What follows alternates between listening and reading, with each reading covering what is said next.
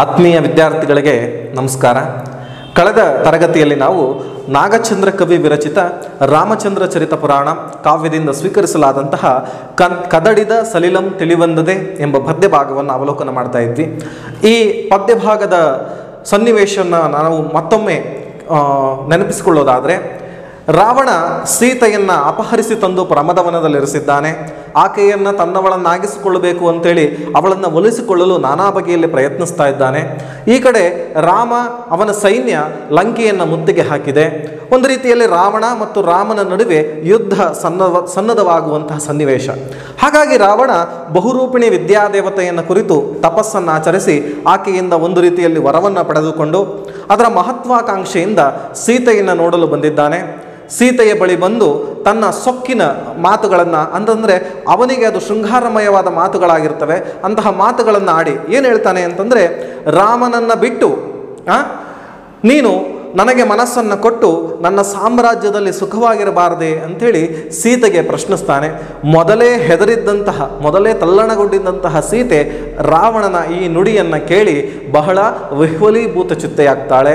ಕಡೆಯಲ್ಲಿ ನೀನು ಕರುಣಿಸುವುದಾದರೆ ರಾ ರಘುತನೂಜನ ಆಯು ಪ್ರಾಣಂ ಬರೆಗಂ ಬಾರದಿರೇನುತ. ಅಂತಂದರೆ ರಾಮ ಯುದ್ಧದಲ್ಲಿ ರಾಮನ ಆಯಸ್ಸು ಪ್ರಾಣದವರೆಗೂ ನೀನು ಹೋಗಬೇಡ ಅಂತ ಹೇಳಿ ಹೇಳ್ತಾ ಅವಳು ದೈನ್ಯ ಸ್ಥಿತಿಯಲ್ಲಿ ಮೂರ್ಛೆಗೆ ಹೊರಟೋಗ್ತಾಳೆ. ಆ, ನಾವು ಈ ದಿನ ಆ ಪದ್ಯಭಾಗದಿಂದ ಮುಂದಿನ ಅಂಶವನ್ನು ನಾವು ಗಮನಿಸೋಣ. ಮುಂದಿನ ಪದ್ಯಭಾಗವನ್ನು ನೋಡಿ. ಜಾನಕಿ ಮೂರ್ಛಿತಯಾಗೆ ದಶಾನನಂ ಅನುಕಂಪೆ ಪುಟ್ಟಿ ಕರುಣಿಸಿ ತನ್ನಂ ತಾನೇ ಪಳಿದುಳಿದು ಕರ್ಮಾದೀನ ಸಮುತ್ಪನ್ನ ದುರಗ ದುಷ್ಪರಿಣಿತಿಯಂ. ಜಾನಕಿ ಮೂರ್ಛಿತೆಯಾಗಿ ದಶಾನನನ್ ಅನುಕಂಪೆ ಪುಟ್ಟಿ, ದಶಾನನಂಗೆ ಅನುಕಂಪೆ ಪುಟ್ಟಿ, ಕರುಣಿಸಿ ತನ್ನಂ ತಾನೇ ಪಳಿದುಳಿದು ಕರ್ಮಾಧೀನ ಸಮುತ್ಪನ್ನ ಧುರಗ ದುಷ್ಪರಿಣಿತಿಯಂ.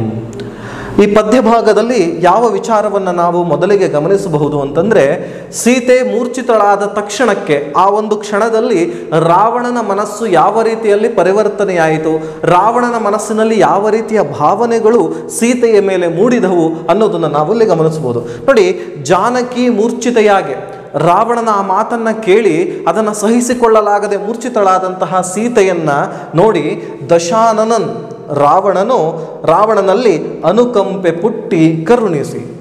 ಅನುಕಂಪ ಕರುಣೆ ಯಾರ ಮೇಲೆ?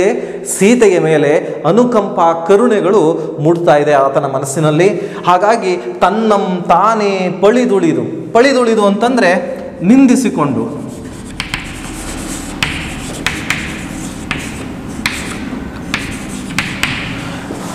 ಪಳಿದುಳಿದು ಅಂದರೆ ದೂಷಿಸುವಂಥದ್ದು. ದೂಷಿಸು. ತನ್ನನ್ನು ತಾನೇ ದೂಷಿಸಿಕೊಳ್ತಾ ಇದ್ದಾನೆ. ಎಂತಹ ಒಂದು ಸಂದಿಗ್ಧ ಪರಿಸ್ಥಿತಿಯಲ್ಲಿ ಸಿಲುಕಿದೆ. ನನ್ನ ನನಗೆ ಒಲಿಬೇಕು, ನನ್ನನ್ನು ಇಷ್ಟಪಟ್ಟು ನನ್ನ ಸಾಮ್ರಾಜ್ಯದಲ್ಲಿ ಆಕೆ ಇರಬೇಕು ಅಂಥೇಳಿ ಬಯಸಿದ್ದ ರಾವಣನ ಮಾತನ್ನು ಕೇಳಿ ಆ ಸೀತೆ ಮೂರ್ಛಿತಳಾಗ್ತಾಳೆ ಅನ್ನುವಾಗ ಆ ಸನ್ನಿವೇಶವನ್ನು ಆತ ಗಮನಿಸಿ ಏನು ಹೇಳ್ತಾ ಇದ್ದಾನೆ, ತನ್ನಂ ತಾನೇ ಪಳಿದುಳಿದು, ತನ್ನನ್ನು ತಾನೇ ನಿಂದಿಸಿಕೊಂಡು, ದೂಷಿಸಿಕೊಂಡು ಕರ್ಮಾಧೀನ ಸಮುತ್ಪನ್ನ ದುರಗ ದುಷ್ಪರಿಣಿತಿಯಂ. ಇಲ್ಲಿ ದುರಗ ಅಂತಂದರೆ ಕೆಟ್ಟ ಪಾಪ. ದುರಗ ದುಷ್ಪರಿಣಿತಿ.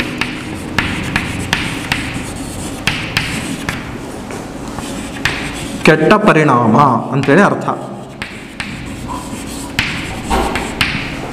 ಕರ್ಮಾಧೀನನಾಗಿ ಈ ಒಂದು ಕೃತ್ಯಕ್ಕೆ, ಯಾವ ಕೃತ್ಯ? ಆ ಸೀತೆ ಮೂರ್ಛಿತಳಾಗೋದಕ್ಕೆ ಮೂಲ ಕಾರಣ ರಾವಣನೇ ಆದ, ಆಗಿದ್ದಾನೆ. ಹಾಗಾಗಿ ತನ್ನ ಮನಸ್ಸಿನೊಳಗಡೆ ಅದು ಅವನಿಗೆ ಅರಿವಾಗಿದೆ. ಅರಿವಾದ ಕಾರಣ ಈ ಎಲ್ಲ ಕಾರ್ಯಗಳಿಗೆ ಸಮುತ್ಪನ್ನನಾದಂಥವನು. ಮೂಲ ಕಾರಣನಾಗದ, ಆದೇನಲ್ಲ. ಇಂತಹ ಕೆಟ್ಟ ಪಾಪಕ ಕಾರ್ಯಗಳಿಗೆ ಪಾಪ ಪ ಅದು ಒಂದು ರೀತಿಯ ಕೆಟ್ಟ ಪರಿಣಾಮವನ್ನು ನನಗೆ ತೋರ್ತಾ ಇದೆಯಲ್ಲ ಅಂಥೇಳಿ ಆತ ವ್ಯಥೆಯನ್ನು ಪಡ್ತಾನೆ. ತನ್ನ ಮನಸ್ಸಿನ ಒಳಗಡೆ ಆಗುವಂತಹ ಒಂದು ರೀತಿಯ ಅನುಕಂಪ, ಕರುಣೆಗಳು ಈಗ ರಾವಣನಲ್ಲಿ ನಾವು ಗಮನಿಸಬಹುದಾಗಿದೆ.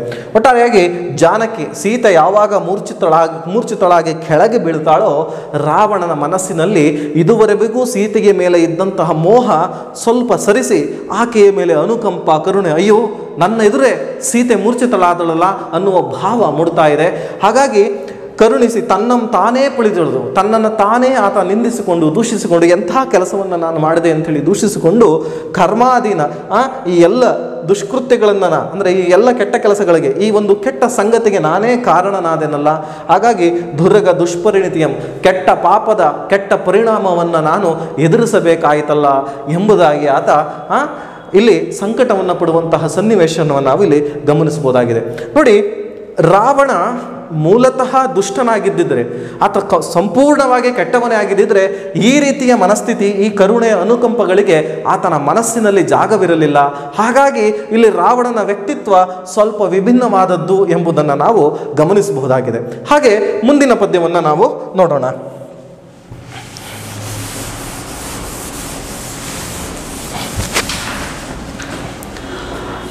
ಕದಡಿದ ಸಲಿಲಂ ತಿಳಿವಂದದೆ ತನ್ನಿಂ ತಾನೇ ತಿಳಿದ ದಶವದನಂಗೆ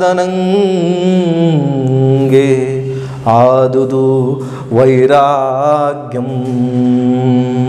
ಸೀತೆಯೊಳ್ ಉದಾತ್ತನೊಳ್ ಪುಟ್ಟದಲ್ತೆ ನೀಲೀರಾಗಂ. ಈ ಕದಡಿದ ಸಲಿಲಂ ತಿಳಿವಂದದೆ ತನ್ನಿಂ ತಾನೇ ತಿಳಿದ ದಶವದನಂಗೆ ಆದುದು ವೈರಾಗ್ಯಂ ಸೀತೆಗಳು ಉದಾತ್ತನೊಳ್ ಪುಟ್ಟದಲ್ತೆ ನೀಲಿರಾಗಂ ಅಂಥೇಳಿ ಕವಿ ರಾವಣನ ಮನಸ್ಸು ಪರಿವರ್ತನೆಯಾಗುವ ಸನ್ನಿವೇಶವನ್ನು ಕೆಲವು ಹೋಲಿಕೆ ಮತ್ತು ವಿಚಾರಗಳನ್ನಿಟ್ಟುಕೊಂಡು ಇಲ್ಲಿ ವರ್ಣಿಸ್ತಾ ಇರತಕ್ಕಂಥದ್ದು. ಹಾಗಾಗಿ ರಾವಣನ ಮನಃಪರಿವರ್ತನೆಯ ಸನ್ನಿವೇಶವನ್ನು ಈ ಪದ್ಯ ಚಿತ್ರಿಸುತ್ತದೆ. ನೋಡಿ, ಕದಡಿದ ಸಲಿಲಂ ತಿಳಿವಂದದೆ ಎಂಬ ವಾಕ್ಯ ನಾವು ಶೀರ್ಷಿಕೆ, ಈ ಪದ್ಯದ ಶೀರ್ಷಿಕೆಯಲ್ಲಿ ನಾವು ಗಮನಿಸಬಹುದು. ಕದಡಿದ ಸಲಿಲಂ ತಿಳಿವಂದದೆ ಅಂತಂದ್ರೆ ಅರ್ಥ ಕದಡಿದ ಕದಡಿದ ಅಂತಂದ್ರೆ ಕೆಸರು ಗದರು ಆಗಿರುವಂಥ.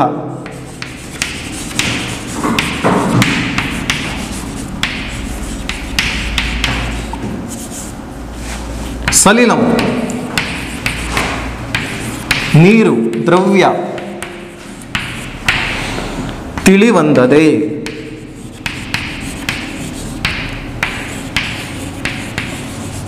ತಿಳಿಯಾಗುವುದಿಲ್ಲವೇ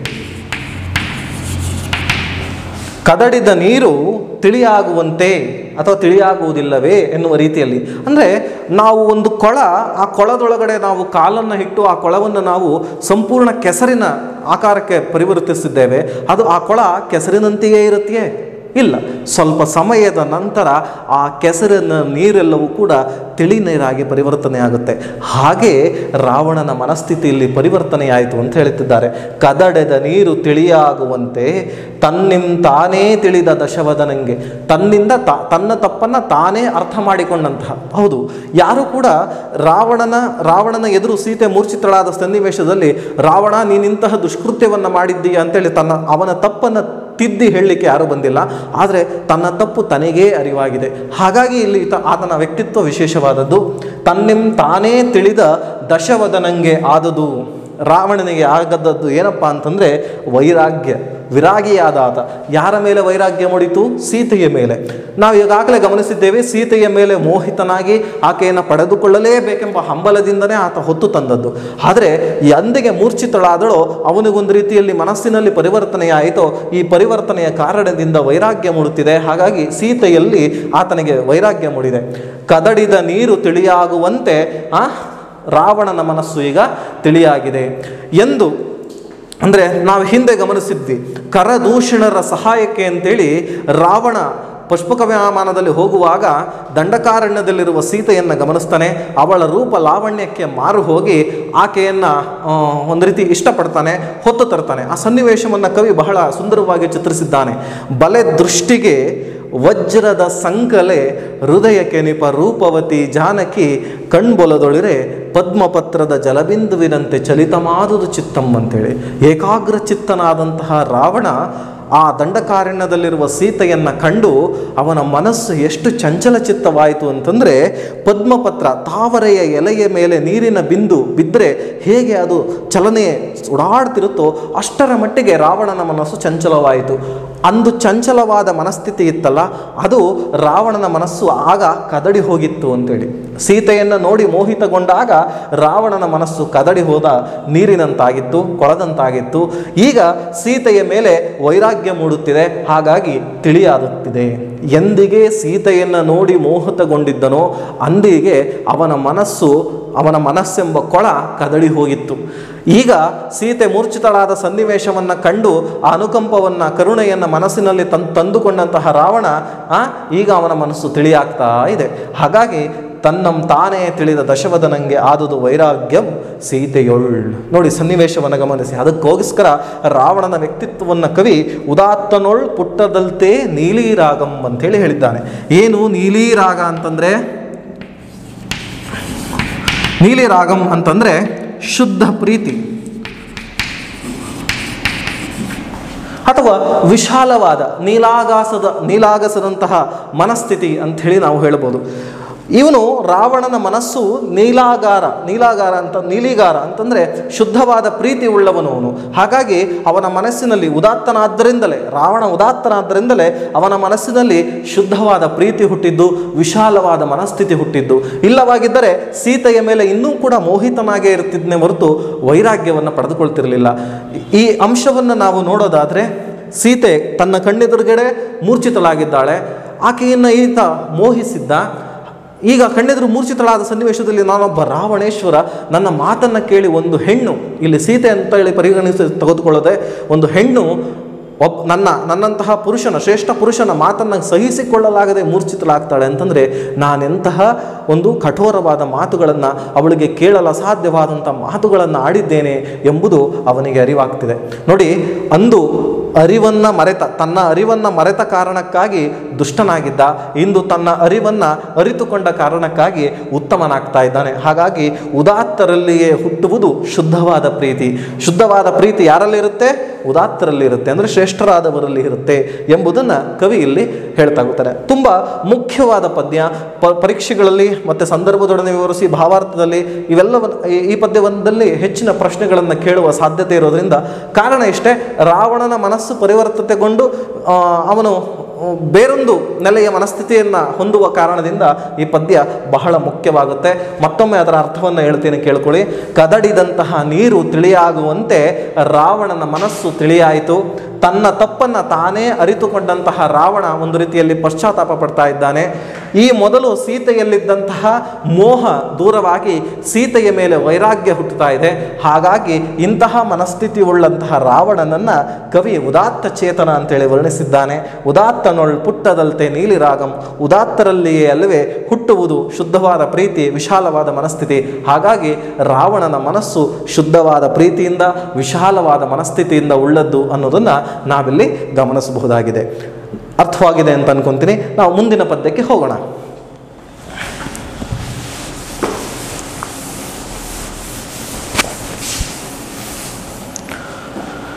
ನೋಡಿ, ಈ ಪದ್ಯದಲ್ಲಿ ರಾವಣ ಸೀತೆಯ ಮೇಲಿನ ವ್ಯಾಮೋಹದಿಂದ ಹೇಗೆ ಸರಿದುಕೊಳ್ತಾನೆ ಹೇಗೆ ಬಿಡಿಸಿಕೊಳ್ತಾನೆ ಅನ್ನುವಂತಹ ಒಂದು ವಿಚಾರವನ್ನು ಕವಿ ಚಿತ್ರಿಸಿದ್ದಾನೆ.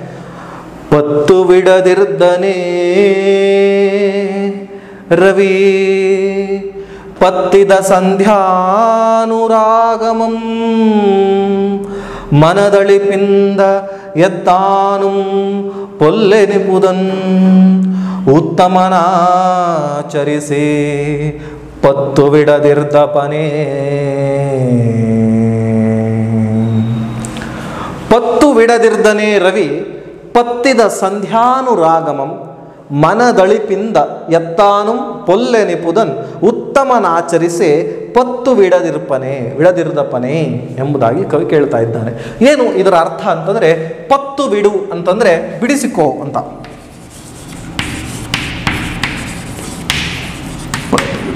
ಕಳಚಿಕು ಅಥವಾ ಬಿಡಿಸಿಕು? ಕಳಚಿಕು ಅನ್ನೋದನ್ನು ಬರೆಯೋಣ. ರವಿ ಸೂರ್ಯ. ಪತ್ತಿದ ಅಂತಂದ್ರೆ ಅಂಟಿದ. ಸಂಧ್ಯಾನುರಾಗ. ಸಂಜೆ. ಸಂಧ್ಯಾ ಅಂದ್ರೆ ಸಂಜೆ. ಸಂಜೆಯ ಅನುರಾಗದಿಂದ. ಈ ಅಂಶವನ್ನು, ಈ ವರ್ಣನೆಯನ್ನು ನಾನು ಹೇಳೋದಕ್ಕೆ ಮುಂಚೆ, ನೋಡಿ, ಈ ಹಿನ್ನೆಲೆಯಲ್ಲಿ ಗಮನಿಸಿ, ಸೂರ್ಯ ಇದ್ದಾನೆ. ಸೂರ್ಯನ ಮುಂದೆ ಅನೇಕ ಮೋಡಗಳು ಕವಿದುಕೊಂಡಿದೆ. ಚಿತ್ರವನ್ನು ಗಮನಿಸಿ ನೀವು ಅಲ್ಲಿ. ಹೇಗೆ? ಸಂಜೆಯ ಕಾಲದಲ್ಲಿ ಸೂರ್ಯನೇ, ಸೂರ್ಯ ತನ್ನ ಪ್ರೀತಿಯಿಂದ ಇಡೀ ಮೋಡಗಳನ್ನು ತನ್ನೆಡೆಗೆ ಸೆಳೆದುಕೊಂಡಿರ್ತಾನೆ. ಆದರೆ ಸೂರ್ಯ ಸಂಪೂರ್ಣವಾಗಿ ನಮಗೆ ಗೋಚರವಾಗುವುದಿಲ್ಲ ಮೋಡಗಳ ಮರೆಯಲ್ಲಿರ್ತಾನೆ. ತದನಂತರದ ದಿನದಲ್ಲಿ ಸೂರ್ಯ ಮತ್ತೆ ಯಥೇ ತನ್ನ ಪ್ರಕಾಶತೆಯನ್ನು ಹೊಂದಂತ ಹೊಂದಿದಂಥ ಸೂರ್ಯ ಉದಯಿಸ್ತಾನೆ. ಅಂದರೆ ಅರ್ಥ ಇಷ್ಟೇ, ಸಂಜೆಯ ಕಾಲವಾಗುವಾಗ ಸೂರ್ಯನ ಮುಂದೆ ಅನೇಕ ಮೋಡಗಳು, ಅಡ್ಡಿ ಆತಂಕಗಳು ಇದ್ದರೂ ಕೂಡ ಆತ ಸೂರ್ಯನಾಗಿಯೇ ಹಿಂದೆ ಇರ್ತಾನೆ. ತದನಂತರ ದಿನದಲ್ಲಿ ಮತ್ತೆ ಪ್ರಕಾಶಿಸ್ತಾನೆ. ಅದೇ ಅಂಶವನ್ನು ರಾವಣನಿಗೆ ಹೋಲಿಸಿ ಹೇಳಿರ್ತಕ್ಕಂಥದ್ದು, ಪತ್ತು ಬಿಡದಿರ್ದನೇ ರವಿ, ಕಳಚಿಕೊಳ್ಳುವುದಿಲ್ಲವೇ ರವಿ, ಪತ್ತಿದ ಸಂಧ್ಯಾನುರಾಗಮಂ, ಸಂಧ್ಯಾನುರಾಗ, ಸಂಜೆಯ ಅನುರಾಗಕ್ಕೆ ಸೂರ್ಯ ಅಂಟಿಕೊಂಡಿರ್ತಾನೆ. ಸಂಜೆ ಆಗುವಾಗ ಸೂರ್ಯನ ಮುಂದೆ ಮೋಡಗಳೆಲ್ಲ ಕವಿದುಕೊಂಡು ಮೋಡಗಳೆಲ್ಲ ಸಾಲುಗಳೆಲ್ಲ ತುಂಬಿಕೊಂಡು ಸೂರ್ಯ ಅಷ್ಟು ಸ್ಪಷ್ಟವಾಗಿ ಕಾಣ್ತಾ ಇರೋದಿಲ್ಲ. ಹಾಗಂತೇಳಿ ಅಲ್ಲಿ ಸೂರ್ಯ ಸ್ಪಷ್ಟತೆ ನಮ್ಮ ಕಣ್ಣಿಗೆ ಸ್ಪಷ್ಟವಾಗಿ ಕಾಣ್ತಾ ಇಲ್ಲ ಅಂತೇಳಿ ಸೂರ್ಯನಲ್ಲಿ ಏನಾದರೂ ಕಳಂಕವಿದೆಯೇ? ಇಲ್ಲ. ಬದಲಿಗೆ ಅವನ ಮುಂದೆ ಮೋಡಗಳಿದೆ ಅಷ್ಟೇ. ಹಾಗಾಗಿ ಸಂಜೆಯ ಹೊತ್ತಿನಲ್ಲಿ ಅಂಟಿರುವಂತಹ ಸೂರ್ಯನಿಗೆ ಅಂಟಿರುವಂತಹ ಸಂಜೆಯ ಅನುರಾಗವನ್ನು ಆತ ಬಿಡು ಬಿಡು, ಬಿಟ್ಟುಕೊಳ್ಳುವುದಿಲ್ಲವೇ, ಕಳಚಿಕೊಳ್ಳುವುದಿಲ್ಲವೇ? ಹಾಗೆ. ಯಾಕೆಂತಂದರೆ ಬೆಳಗಾಗುವಾಗ ಸೂರ್ಯ ಮತ್ತೆ ಆ ಮೋಡಗಳ ಮರೆಯಿಂದ ಹೊರಬಂದು ಪೂರ್ವಾಭಿಮುಖನಾಗಿ ಮತ್ತೆ ಹುಟ್ಟುತ್ತಾನೆ. ಹಾಗಾಗಿ ಅಂತೆಯೇ ರಾವಣನೂ ಕೂಡ ಈಗ ಸೀತೆಯ ಮೇಲಿನ ವ್ಯಾಮೋಹದ ಮೋಡಗಳು ರಾವಣನನ್ನು ಕವಿದುಕೊಂಡಿತ್ತು. ಅವನ ವ್ಯಕ್ತಿತ್ವವನ್ನು ನಾವು ದರ್ಶಿಸಲಿಕ್ಕೆ ಸಾಧ್ಯವಾಗ್ತಿರಲಿಲ್ಲ. ಈಗ ರಾವಣನ ಮನಸ್ಸು ತಿಳಿಗೊಂಡಿದ್ದರಿಂದ ಸೀತೆಗೆ ಮೇಲಿನ ವ್ಯಾಮೋಹವೆಂಬ ಮೋಡಗಳು ದೂರವಾಗಿ ಈಗ ರಾವಣ ಪ್ರಕಾಶಿಸುತ್ತಿರುವ ಸೂರ್ಯನಂತ ನಮಗೆ ಗೋಚರವಾಗ್ತಾ ಇದ್ದಾನೆ ಅಂತೇಳಿ ಕವಿ ಹೇಳ್ತಾ ಇದ್ದಾನೆ. ಕಳಚಿಕೊಳ್ಳುವುದಿಲ್ಲವೇ ಸೂರ್ಯನು ತನಗೆ ಅಂಟಿದಂತಹ ಸಂಧ್ಯಾನುರಾಗವನ್ನು? ಹಾಗೆಯೇ ಮನದಳಿಪಿಂದ ಎತ್ತಾನುಂ ಪೊಲ್ಲೆನಿಪುದ. ಪೊಲ್ಲೆನಿಪುದ ಅಂತಂದರೆ ಕೆಟ್ಟ ಆಲೋಚನೆಗಳು, ಕೆಟ್ಟ ನಡತೆಗಳನ್ನು ಹೊಂದಿರುವುದು ಅಂತ ಅರ್ಥ. ಮನದ ಅಳಿಪಿಂದ ಅಂತಂದರೆ, ಮನದಲ್ಲಿ ಉಂಡ, ಉಂಟಾದಂತಹ ಮೋಹಕ್ಕೆ ಸಿಲುಕಿದ ಅಂತೇಳಿ ಅರ್ಥ ಬರುತ್ತೆ. ಅಳಿಪು ಅಂತಂದರೆ, ಎತ್ತಾನು, ಉತ್ತಮನಾಚರಿಸಿ, ಉತ್ತಮ ಕೆಲಸಗಳನ್ನು ಮಾಡಿದ್ರೆ ಪತ್ತು ಬಿಡದಿರುತ್ತಪ್ಪನೇ ಅಂತಂದರೆ, ಕಳಚಿಕೊಳ್ಳಲು ಹೇಗೆ ಸಾಧ್ಯವೇ ಇದೆಯೇ? ಸಾಧ್ಯವೇ ಇದೆ ಅಂತೇಳಿ ಹೇಳ್ತಾ ಇರ್ತಕ್ಕಂಥದ್ದು. ಅಂದ್ರೆ ಅರ್ಥ ಇಷ್ಟೇ, ಒಬ್ಬ ವ್ಯಕ್ತಿ ಒಬ್ಬ ವ್ಯಕ್ತಿ ತನ್ನ ಮನಸ್ಸಿನ ಮೋಹಕ್ಕೆ ಸಿಲುಕಿ, ತನ್ನ ಮನಸ್ಸಿನಲ್ಲಿ ಅನೇಕ ಮೋಹಗಳಿಗೆ ಸಿಲುಕಿಕೊಂಡು ಕೆಟ್ಟ ಕೆಲಸಗಳನ್ನು ಮಾಡಿದರೂ ಕೂಡ ಕೆಟ್ಟ ಕೆಲಸಗಳನ್ನು ಮಾಡಿದರೂ ಕೂಡ ತದನಂತರ ಕಾಲಘಟ್ಟದಲ್ಲಿ ಒಳ್ಳೆಯ ಆಲೋಚನೆಗಳು ಮೂಡಿ ಒಳ್ಳೆಯದನ್ನು ಮಾಡಬೇಕು ಅನ್ನುವ ಮನಸ್ಥಿತಿ ಹೊಂದಿದರೆ ಆತನೂ ಕೂಡ ಏನಾಗ್ತಾನೆ? ಉತ್ತಮನಾಗ್ತಾನೆ. ಹಾಗಾಗಿ ಸೂರ್ಯನ ಮುಂದೆ ಹೇಗೆ ಮೋಡಗಳು ಕ್ಷಣಿಕವಾಗಿರ್ತಾವೋ ಓ, ವ್ಯಕ್ತಿಯ ಒಳಗಿರ್ತಕ್ಕಂತಹ ಕೆಟ್ಟತನವೂ ಅಷ್ಟೇನೆ ಕ್ಷಣಿಕವಾದದ್ದು. ಆ ಮೋಡಗಳು ಸರಿದು ಹೋದಂತೆ ಆ ಉತ್ತಮ ಆಲೋಚನೆಗಳನ್ನು ಮಾಡುವ ಮೂಲಕವಾಗಿ ನಮ್ಮಲ್ಲಿರುವ ಕೆಟ್ಟತನವನ್ನು ದೂರ ಮಾಡಬಹುದು ಎಂಬುದನ್ನು ಈ ಪದ್ಯ ನಮಗೆ ದರ್ಶಿಸುವಂಥದ್ದು. ನಾವಿಲ್ಲಿ ಗಮನಿಸ್ಬೋದು ಕೆಟ್ಟತನವನ್ನು ಕೆಟ್ಟತನ ಅನ್ನುವಂಥದ್ದು ವ್ಯಕ್ತಿಯಲ್ಲಿ ಹುಟ್ಟಿನಿಂದ ಬರುವುದಿಲ್ಲ. ಜೊತೆಗೆ ಸಾಯುವವರೆಗೂ ಇರುವುದಿಲ್ಲ. ಹಾಗಾಗಿ ರಾವಣನು ಕೂಡ ಹಾಗೆಯೇ ಕೆಟ್ಟತನದ, ಕೆಟ್ಟತನವನ್ನು ಒಮ್ಮೆ ಪ್ರದರ್ಶಿಸಿದ್ದ. ಯಾವಾಗ? ಸೀತೆಯನ್ನು ಮೋಹಿಸಿದಾಗ.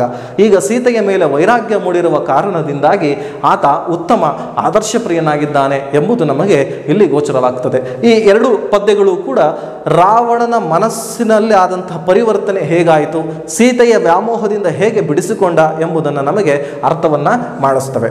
ಮುಂದಿನ ಪದ್ಯವನ್ನು ನಾವು ಗಮನಿಸೋಣ. ಸ್ಲೈಡ್ ನೋಡಿ, ಈ ಗದ್ಯದಲ್ಲಿ ಅವನ ಮನಸ್ಸು ಹೇಗೆ ಪರಿವರ್ತನೆ ಆಯಿತು ಅನ್ನೋದನ್ನು ಹೇಳ್ತಾ ಹೋಗ್ತಾರೆ. ಮತ್ತೊಮ್ಮೆ, ಅಂತೂ ಮನದೊಳೊಗೆದ ಕಾರುಣ್ಯ ರಸಮೇ, ಸೀತೆಯೊಳ್ ಆದ ಅನುರಕ್ತೆಯಂ ಖರ್ಚಿ ಕಳೆವುದು ಖರ್ಚಿ ಕಳೆವುದು ಸ್ವಭಾವ ಪರಿಣಿತಿಯೊಳ್ ನಿಂದು ಸ್ವಕೀಯ ಆಪ್ತ ಸ್ವಕೀಯ ಆಪ್ತ ಪುರುಷ ಪರಿಷ ಜನಕ್ಕೆ ಇಂತೆಂದಂ. ಏನು ಹೇಳ್ತಾ ಇದ್ದಾರೆ ಇಲ್ಲಿ ಅಂತಂದ್ರೆ ಅಂತೂ ಮನದೊಳಗೆದ ಕಾರುಣ್ಯ ರಸಮೆ ಹೀಗೆ ಹಿಂದಿನ ಪದ್ಯವನ್ನು ಹೇಗೆ ಗಮನಿಸಿದ್ವಿ ಕದಡಿದ ಸಲಿಲಂ ತಿಳಿವಂದದೆ, ಪತ್ತು ಬಿಡದಿರದನೆ ರವಿ. ಈ ಪದ್ಯ ಭಾಗದಲ್ಲಿ ರಾವಣನ ಮನಸ್ಸು ಹೇಗೆ ಪರಿವರ್ತನೆ ಆಯಿತು ಅನ್ನೋದನ್ನು ಗಮನಿಸಿದ್ರಿ.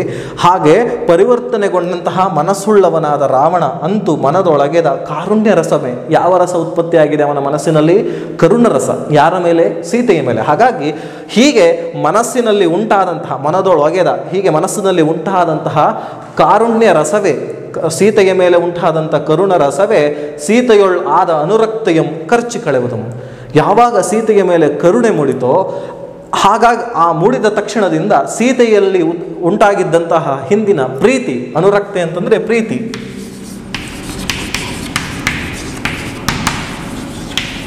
ಪ್ರೀತಿ ಅಥವಾ ಮೋಹ. ಮೋಹ ಖರ್ಚಿ ಕಳೆಯುವುದಂ ಖರ್ಚಿ ಕಳೆ ಅಂತಂದ್ರೆ ತೊಡೆದು ಹಾಕೋದು.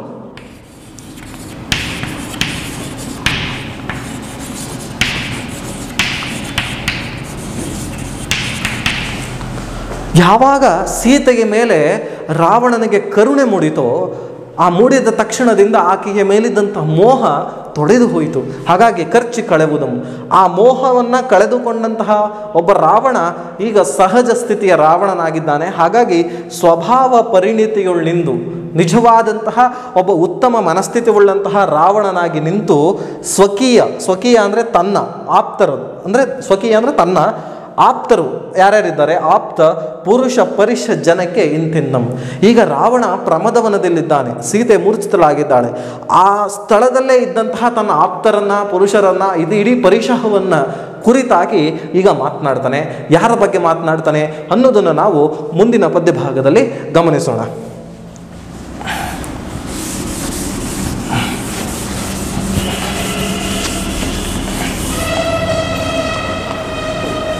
ಈ ಪದ್ಯಭಾಗದಲ್ಲಿ ಸೀತೆಯ ಮೇಲೆ ಇದುವರೆಗೂ ವ್ಯಾಮೋಹಗೊಂಡಿದ್ದಂತಹ ರಾವಣ ಸೀತೆಯ ಮೇಲೆ ವೈರಾಗ್ಯವನ್ನು ತಾಳಿ ಆಕೆಯ ಮನಸ್ಥಿತಿಯನ್ನು ಅರ್ಥ ಮಾಡಿಕೊಂಡು ಆಕೆಯ ಗುಣವನ್ನು, ಆಕೆಯ ವ್ಯಕ್ತಿ ಚಿತ್ರವನ್ನು ಆಕೆಯ, ಆಕೆ ರಾಮನ ಮೇಲಿಟ್ಟಿರ್ತಕ್ಕಂಥ ಪ್ರೀತಿಯನ್ನು ಮತ್ತು ಅವಳ ಗುಣ ಸ್ವರೂಪವನ್ನು ವಿವರಿಸುವಂತಹ ಪದ್ಯ ಇದಾಗಿದೆ.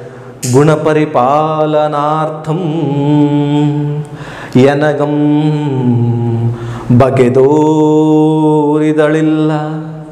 ದಿವ್ಯಭೂಷಣ ವಸನ ಅಂಗ ರಾಗಮನ್ವಲ್ಲದೆ ಖೇಚರ ರಾಜ್ಯಲಕ್ಷ್ಮಿಯಂ ತೃಣಸಮಾನಾಗೆ ಭಾವಿಸಿದಳ್ ಈ ಸತಿಯಂ ಮೊದಲಾಗೆ. ಪೌರುಷ ಪ್ರಣಯ ಇಂತು ಅಪೇಕ್ಷಿಸುವನೇ ಗುಣಹಾನಿಯನ್ ಎನ್ನ ಪಾಪದಿಂ. ಗುಣಪರಿಪಾಲನಾರ್ಥಂ ಎನಗಂ ಬಗೆದೋರಿದಳಿಲ್ಲ. ದಿವ್ಯಭೂಷಣ ವಸನ, ಅಂಗ, ರಾಗಮುಮನ್ ವಲ್ಲದೆ ಖೇಚರ ರಾಜ್ಯಲಕ್ಷ್ಮಿಯಂ ತೃಣ ಸಮಾನಾಗೆ ಭಾವಿಸಿದಳ್ ಈ ಸತಿಯಂ ಮೊದಲಾಗೆ ಪೌರುಷ ಪ್ರಣಯಿ, ಪೌರುಷ ಪ್ರಣಯನ್ ಇಂತು ಅಪೇಕ್ಷಿಸುವೆನೆ ಗುಣಹಾನಿಯನ್ ಎನ್ನ ಪಾಪದಿಂ ಅಂತೇಳಿ ಹೇಳ್ತಾ ಇದ್ದಾನೆ. ಏನು, ಈ ಪದ್ಯದಲ್ಲಿ ಹೇಳಿರುವಂತಹ ರಾವಣನ ವಿಚಾರಗಳೇನು ಅಂತಂದರೆ ಸೀತೆಯ ಬಗ್ಗೆ ಆತ- ಮಾತನಾಡ್ತಾ ಇದ್ದಾನೆ. ಗುಣ ಪರಿಪಾಲನ ಮಾಡುವುದಕ್ಕೋಸ್ಕರವಾಗಿ ಸೀತೆ ರಾಮನ ಮೇಲೆ ಅತೀವವಾದಂತಹ ಭಕ್ತಿ, ಪ್ರೀತಿಯನ್ನು ಉಳ್ಳವಳಾಗಿದ್ದಾಳೆ. ನಾವು ಇದುವರೆಗೂ ಕೂಡ ಆದರ್ಶ ದಂಪತಿಗಳು ಅಂತಂದರೆ ರಾಮ ಮತ್ತು ಸೀತೆಯರನ್ನು ನಾವು ಗಮನಿಸ್ತೀವಿ. ಹಾಗಾಗಿ ಅಂತಹ ರಾಮನನ್ನೇ ಸರ್ವಸ್ವವನ್ನಾಗಿಸಿಕೊಂಡಿರುವ ಸೀತೆಯ ಗುಣವನ್ನು ಇಲ್ಲಿ ಹೇಳ್ತಾ ಇದ್ದಾನೆ. ಸೀತೆ ಗುಣಪರಿಪಾಲನೆಯನ್ನು ಮಾಡುವುದಕ್ಕೋಸ್ಕರವಾಗಿ, ಸೀತೆ ಗುಣಪರಿಪಾಲನಾರ್ಥಂ ಎನಗಂ ಬಗೆದೋರಿದಳಿಲ್ಲ ಎಂತಹ ಸದ್ವಿನಿ ಆತೆ ಆಕೆ ತನ್ನ ಗುಣವನ್ನು ಉಳಿಸಿಕೊಳ್ಳಬೇಕು, ತನ್ನ ಮನಸ್ಥಿತಿಯನ್ನು, ಆ ರಾಮನಲ್ಲೇ ಇಟ್ಟಿರಬೇಕು ಅನ್ನುವ ಕಾರಣಕ್ಕಾಗಿ ನನಗೆ ಮನಸ್ಸನ್ನೇ ಕೊಡಲಿಲ್ಲ. ಬಗೆದೋರಿದಳಿಲ್ಲ. ಬಗೆದೋರು, ಬಗೆ ಅಂತಂದರೆ ಯೋಚಿಸು, ಮನಸ್ಸನ್ನು, ಮನಸ್, ಮನಸ್ಸನ್ನು ಕೊಡು ಅಂತೇಳಿ ಅರ್ಥ.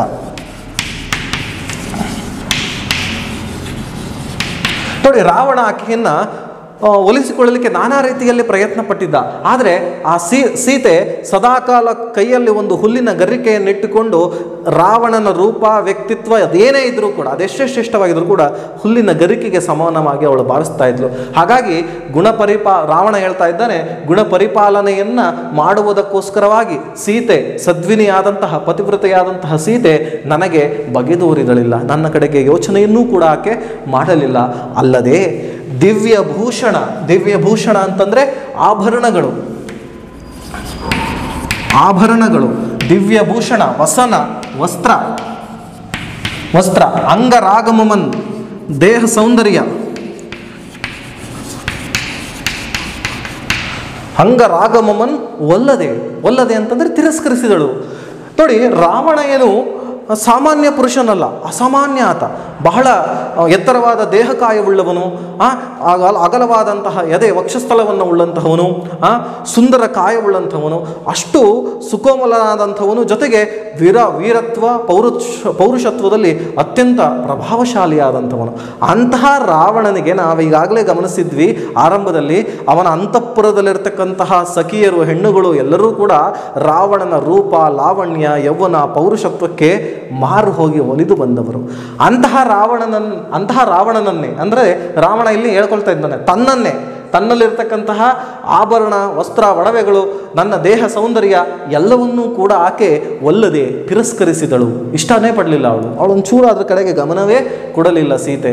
ಅಂತಂದರೆ ಯಾಕೆ ಈ ಹೆಣ್ಣು ಮಕ್ಕಳಿಗೆ ಸರ್ವೇ ಸಾಮಾನ್ಯವಾಗಿ ಒಡವೆ, ಆಭರಣ, ಅಂದ, ಸೌಂದರ್ಯ, ಶೃಂಗಾರ ಇವುಗಳ ಮೇಲೆ ಹೆಚ್ಚಿನ ಮೋಹವಿರುತ್ತೆ. ಆದರೆ ಸೀತೆಗೆ ಅಂಗ ಸೌಂದರ್ಯ ಏನೇ ಇದ್ರೂ ಕೂಡ ಅದು ರಾಮನೇ. ಎಂಥ ಒಡವೆಗಳಿದ್ರೂ ಕೂಡ ಅದು ರಾಮನಲ್ಲಿಯೇ ಕಾಣ್ತಾ ಇದ್ಲು. ಹಾಗಾಗಿ ರಾವಣನ ಆ ಏನು ವಸ್ತ್ರ, ಒಡವೆ, ವೈಡೂರ್ಯಗಳು, ಅವನ ದೇಹ ಸೌಂದರ್ಯ ಯಾವುದೂ ಕೂಡ ಅವಳಿಗೆ ಇಷ್ಟವಾಗಲಿಲ್ಲ. ಜೊತೆಗೆ ಖೇಚರ ರಾಜ್ಯಲಕ್ಷ್ಮಿಯಂ ಆಗಲೇ ಹೇಳಿದ್ದ, ಸಾಮ್ರಾಜ್ಯ ಸುಖಮನ ಅನುಭವಿಸನೇ ಅಂತ ಕೇಳಿದ್ದ ಸೀತೆಯನ್ನು. ಅಂತಂದರೆ ಸಾಮ್ರಾಜ್ಯದಲ್ಲಿ ರಾಣಿಯಾಗಿಯೂ ಕೂಡ ಸೀತೆ ಇರಬಹುದಾಗಿತ್ತು ಅಂತಹ ಕೇಚರ ಕೇಚಂದ್ರೆ ರಾವಣ, ರಾವಣನ ರಾಜ್ಯ ಲಕ್ಷ್ಮಿಯನ್ನ ತೃಣ ಸಮಾನಾಗೆ ಭಾವಿಸಿದಳು. ತೃಣಕ್ಕೆ ಸಮಾನವಾಗಿ ಆಕೆ ಭಾವಿಸಿದ್ದಾಳೆ. ನನ್ನ ಸಾಮ್ರಾಜ್ಯವನ್ನು, ನನ್ನ ರೂಪವನ್ನು, ನನ್ನ ಐಶ್ವರ್ಯವನ್ನು, ನನ್ನ ದೇಹ ಸೌಂದರ್ಯವನ್ನು, ನನ್ನ ಪ್ರೀತಿಯನ್ನು, ನನ್ನ ಮನಸ್ಸನ್ನು ಎಲ್ಲವನ್ನೂ ಕೂಡ ಆಕೆ ತಿರಸ್ಕರಿಸಿದ್ದಾಳೆ. ಇಷ್ಟಪಟ್ಟಿಲ್ಲ. ಹಾಗಾಗಿ ಭಾವಿಸಿದಳು, ತೃಣಕ್ಕೆ ಸಮಾನವಾಗಿ ಭಾವಿಸಿದ್ದಾಳೆ. ಈ ಸತಿಯಂ ಇಂತಹ ಸದ್ವಿನಿಯಾದಂತಹ ಸೀತೆಯನ್ನು, ಸತಿಯನ್ನು ಮೊದಲಾಗೆ ಮೊದಲಾಗೆ ಯಾರು? ಪೌರುಷ ಪ್ರಣಯಿ. ಪೌರುಷ ಪ್ರಣಯ ಅಂತಂದರೆ ಪರಾಕ್ರಮವನ್ನೇ ಪರಾಕ್ರಮವನ್ನೇ, ಪರಾಕ್ರಮದ ಮೇಲೆ ಹೆಚ್ಚಿನ ಆಸಕ್ತಿ ಉಳ್ಳವನು ಅಂತ ಹೇಳರ್ಥ. ಪರಾಕ್ರಮವನ್ನು ಪೋಷಿಸುವವನು ಆದಂತಹ ರಾವಣ, ನಾನು ಅಂತಂದರೆ ಮೊದಲಾಗೆ, ಮೊದಲಿಗೆ ನಾನು ಪೌರುಷ ಪ್ರಣಯಿ, ಹೀಗಿರುವಾಗ ಇಂತಹ ಸದ್ವಿನಿಯನ್ನು, ಇಂತಹ ಸೀತೆಯನ್ನು ಅಪೇಕ್ಷಿಸಿದನಲ್ಲ. ಅಪೇಕ್ಷಿಸುವನೇ ಗುಣಹಾನಿಯನ್ ಎನ್ನ ಪಾಪದಿಂ. ಈ ರೀತಿ ಸೀತೆಯ ಮೇಲೆ ಮೋಹಪಟ್ಟಿದ್ದರಿಂದ ನನ್ನ ಗುಣ ಹಾನಿಯಾಗಿದೆ. ಹಾನಿ ಅಂತಂದರೆ ಕಳಂಕ ಹೊತ್ತಿದ್ದಾಗಿದೆ. ಗುಣ ಹಾನಿಯನ್ ಎನ್ನ ಪಾಪದಿಂ? ನನ್ನದೇ ಪಾಪ ಕೃತ್ಯದಿಂದ ನನ್ನದೇ ಮನಸ್ಥಿತಿಯ ಒಂದು ಚಂಚಲತೆಯಿಂದ ನನ್ನ ಗುಣವನ್ನು ನಾನೇ ಹಾಳು ಮಾಡಿಕೊಂಡೆನಲ್ಲ ಎಂಬುದಾಗಿ ಎಲ್ಲರನ್ನ ಕುರಿತು, ಅಂದರೆ ಅಲ್ಲಿದ್ದಂತಹ ಪ್ರಮದವನದಲ್ಲಿದ್ದಂತಹ ಎಲ್ಲರನ್ನ ಕುರಿತು ಆತ ಮಾತನಾಡ್ತಾ ಇದ್ದಾನೆ ರಾವಣ. ನೋಡಿ, ಮತ್ತೊಮ್ಮೆ ಹೇಳ್ತೀನಿ, ಸೀತೆ ರಾವಣನಿಗೆ ಯಾಕೆ ಒಲಿಲಿಲ್ಲ ಅಂತಂದರೆ, ಸೀತೆಗೆ ತನ್ನ ಗುಣವೇ, ತನ್ನ ಪಾತಿವ್ರತವೇ ಮುಖ್ಯವಾಗಿತ್ತು. ಗುಣ ಪರಿಪಾಲನೆಗೋಸ್ಕರವಾಗಿ ರಾವಣನಿಗೆ ಆತ, ಆಕೆ ಮನಸ್ಸನ್ನು ಕೊಡಲಿಲ್ಲ. ದಿವ್ಯ ಭೂಷಣ, ವಸನ, ಅಂಗ, ರಾಗಮಮನ್, ದಿವ್ಯವ, ದಿವ್ಯವಾದಂತಹ ಶ್ರೇಷ್ಠವಾದಂತಹ ವಸ್ತ್ರ, ಒಡವೆ ವೈಡೂರ್ಯಗಳು ಜೊತೆಗೆ ರಾವಣನ ದೇಹ ಸೌಂದರ್ಯವನ್ನೂ ಒಲ್ಲದೆ ಇಷ್ಟಪಡದೆ ಅವನ ಕೇಚರ ರಾಜ್ಯಲಕ್ಷ್ಮಿಯನ್ನು ಹುಲ್ಲಿನ ಕಡ್ಡಿಗೆ, ಹುಲ್ಲಿನ ಗರಿಕೆಗೆ ಸಮಾನವಾಗಿ ಭಾವಿಸಿದ್ದಾಳೆ. ಇಂತಹ ಸೀತೆಯನ್ನು, ಇಂತಹ ಸದ್ವಿನಿಯನ್ನು ನಾನು ಅಪೇಕ್ಷಿಸಿದನಲ್ಲ. ನಾನು ಅದರಲ್ಲೂ ಯಾರು? ಪೌರುಷ ಪ್ರಣಯಾದಂಥವನು ಇಂತಹ ಕೃತ್ಯವನ್ನು ಇಂತಹ ಮನಸ್ಸಿನ ಭೇದವನ್ನು ನಾನು ಎಣಿಸಿದನಲ್ಲ ಎಂಬುದಾಗಿ ತನ್ನ ಗುಣ ಈ ಒಂದು ವಿಚಾರದಿಂದ ಹಾಳಾಗಿ ಹೋಯಿತಲ್ಲ ಎಂಬುದಾಗಿ ರಾವಣ ಚಿಂತಿಸ್ತಾನೆ. ಆ ಕುರಿತಾಗಿ ಇಡೀ ಜನರನ್ನು ಕುರಿತು, ತನ್ನ ಪರಿಶಹವನ್ನು ಕುರಿತು ಮಾತನಾಡ್ತಾನೆ. ಇದು ಸೀತೆಗೆ ಗುಣವನ್ನು ಕುರಿತು ರಾಮ್, ರಾವಣ ಮಾತನಾಡುವಂತಹ ಒಂದು ನುಡಿಯಾಗಿರುವಂಥದ್ದು. ಮುಂದಿನ ಪದ್ಯವನ್ನು ನಾವು ಗಮನಿಸೋಣ.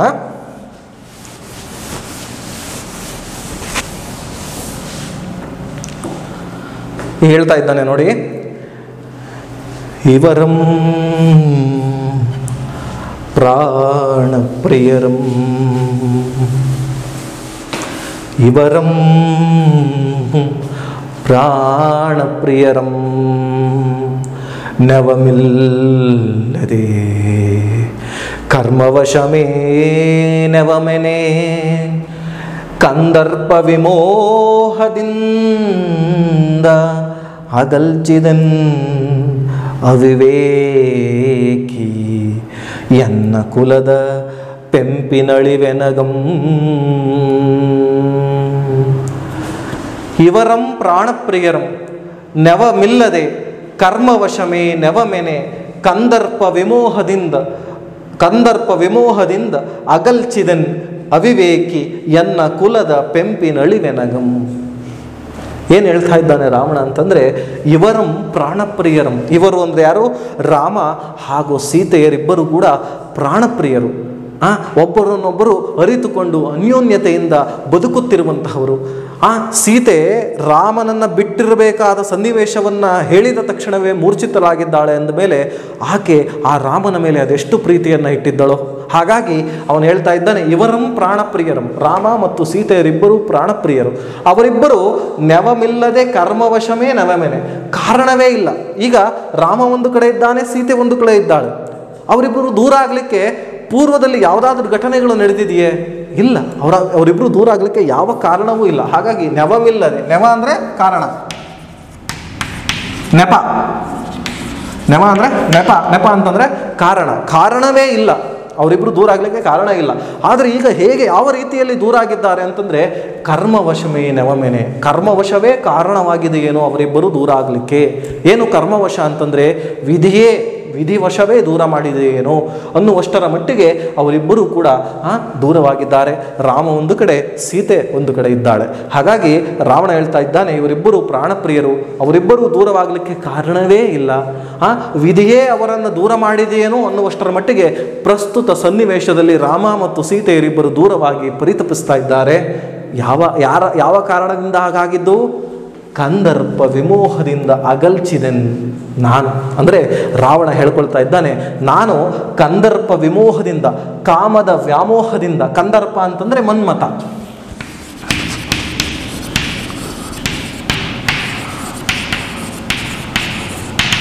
ಮನ್ಮಥ.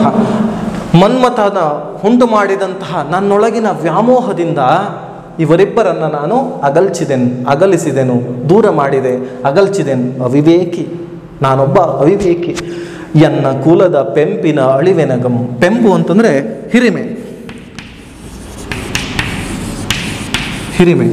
ನನ್ನ ಕುಲದ ಹಿರಿಮೆ ಗರಿಮೆಗಳನ್ನು ಹಾಳು ಮಾಡಲಿಕ್ಕೆ ನಾನೇ ಕಾರಣನಾದನಲ್ಲ. ನಾನೆಂತಹ ಅವಿವೇಕಿ ಎಂತಹ ಕೆಲಸವನ್ನು ಮಾಡಿದೆ ಅಂಥೇಳಿ ರಾವಣ ಇಲ್ಲಿ ಪರಿತಪಿಸ್ತಾ ಇರತಕ್ಕಂಥದ್ದು, ಪಶ್ಚಾತ್ತಾಪವನ್ನು ಪಡ್ತಾ ಇರತಕ್ಕಂಥದ್ದನ್ನು ನಾವು ಗಮನಿಸ್ಬೋದು ಮತ್ತೊಮ್ಮೆ ಹೇಳ್ತೇನೆ ಕೇಳಿ, ಇವರಿಬ್ಬರು, ರಾಮ ಮತ್ತು ಸೀತೆಯರಿಬ್ಬರು ಪ್ರಾಣಪ್ರಿಯರು, ಅವರಿಬ್ಬರು ದೂರವಾಗಲಿಕ್ಕೆ ಯಾವುದೇ ಪೂರ್ವ, ಪೂರ್ವಯೋಜಿತ ಘಟನೆಗಳು ನಡೆದಿಲ್ಲ, ಯಾವುದೇ ಕಾರಣಗಳೂ ಇಲ್ಲ. ಇಂತಹ ಸನ್ನಿವೇಶದಲ್ಲಿ ನನ್ನ ಒಂದು ಕಾಮ ವ್ಯಾಮೋಹದಿಂದ ಅವರಿಬ್ಬರು ಕೂಡ ವಿಧಿಯೇ ದೂರವಾದಂತೆ ದೂರವಾಗಿದ್ದಾರೆ. ಆ ದೂರವಾಗಲಿಕ್ಕೆ ನಾನೇ ಕಾರಣನಾಗಿದ್ದೇನೆ. ಎಂತಹ ಅವಿವೇಕಿ ನಾನು? ಗಂಡ ಹೆಂಡತಿಯರಿಬ್ಬರನ್ನ, ಪ್ರಾಣಪ್ರಿಯರಿಬ್ಬರನ್ನ ದೂರ ಮಾಡಿದಂತಹ ಪಾಪದ ಕೆಲಸ, ಆ ಪಾಪ ನನ್ನ ಕುಲಕ್ಕೆ, ನನ್ನ ಹಿರಿಮೆ ಗರಿಮೆಗಳನ್ನು ಹಾಳು ಮಾಡಲಿಲ್ಲವೆ? ನನ್ನ ಕುಲದ ಹಿರಿಮೆ ಗರಿಮೆಗಳನ್ನು ಹಾಳು ಮಾಡ್ತಿಲ್ವೆ? ಅಂತೇಳಿ ಈಗ ಯೋಚನೆಯನ್ನು ಮಾಡ್ತಾ ಇದ್ದಾನೆ. ಹಾಗೆ ನಾವು ಕೆಲವೊಮ್ಮೆ ಇಂತಹ ಒಂದು ದಿಢೀರ್ ನಿರ್ಧಾರಗಳನ್ನು ತೆಗೆದುಕೊಂಡಾಗ ಕೆಲವೊಮ್ಮೆ ನಾವು ಆಲೋಚಿಸಬೇಕಾಗ್ತದೆ. ಹಾಗಾಗಿ ತಕ್ಷಣದ, ತತ್ಕ್ಷಣದ ನಿರ್ಧಾರಗಳು ನಮ್ಮ ಹಿರಿಮೆ ಗರಿಮೆಗಳನ್ನು ಹಾಳು ಮಾಡ್ತವೆ ಅನ್ನೋದನ್ನು ಈ ರಾವಣನ ವ್ಯಕ್ತಿ ಚಿತ್ರದ ಮೂಲಕವಾಗಿ ನಾವು ಗಮನಿಸಬಹುದಾಗಿದೆ. ಮುಂದಿನ ಪದ್ಯವನ್ನು ನಾವು ಗಮನಿಸೋಣ.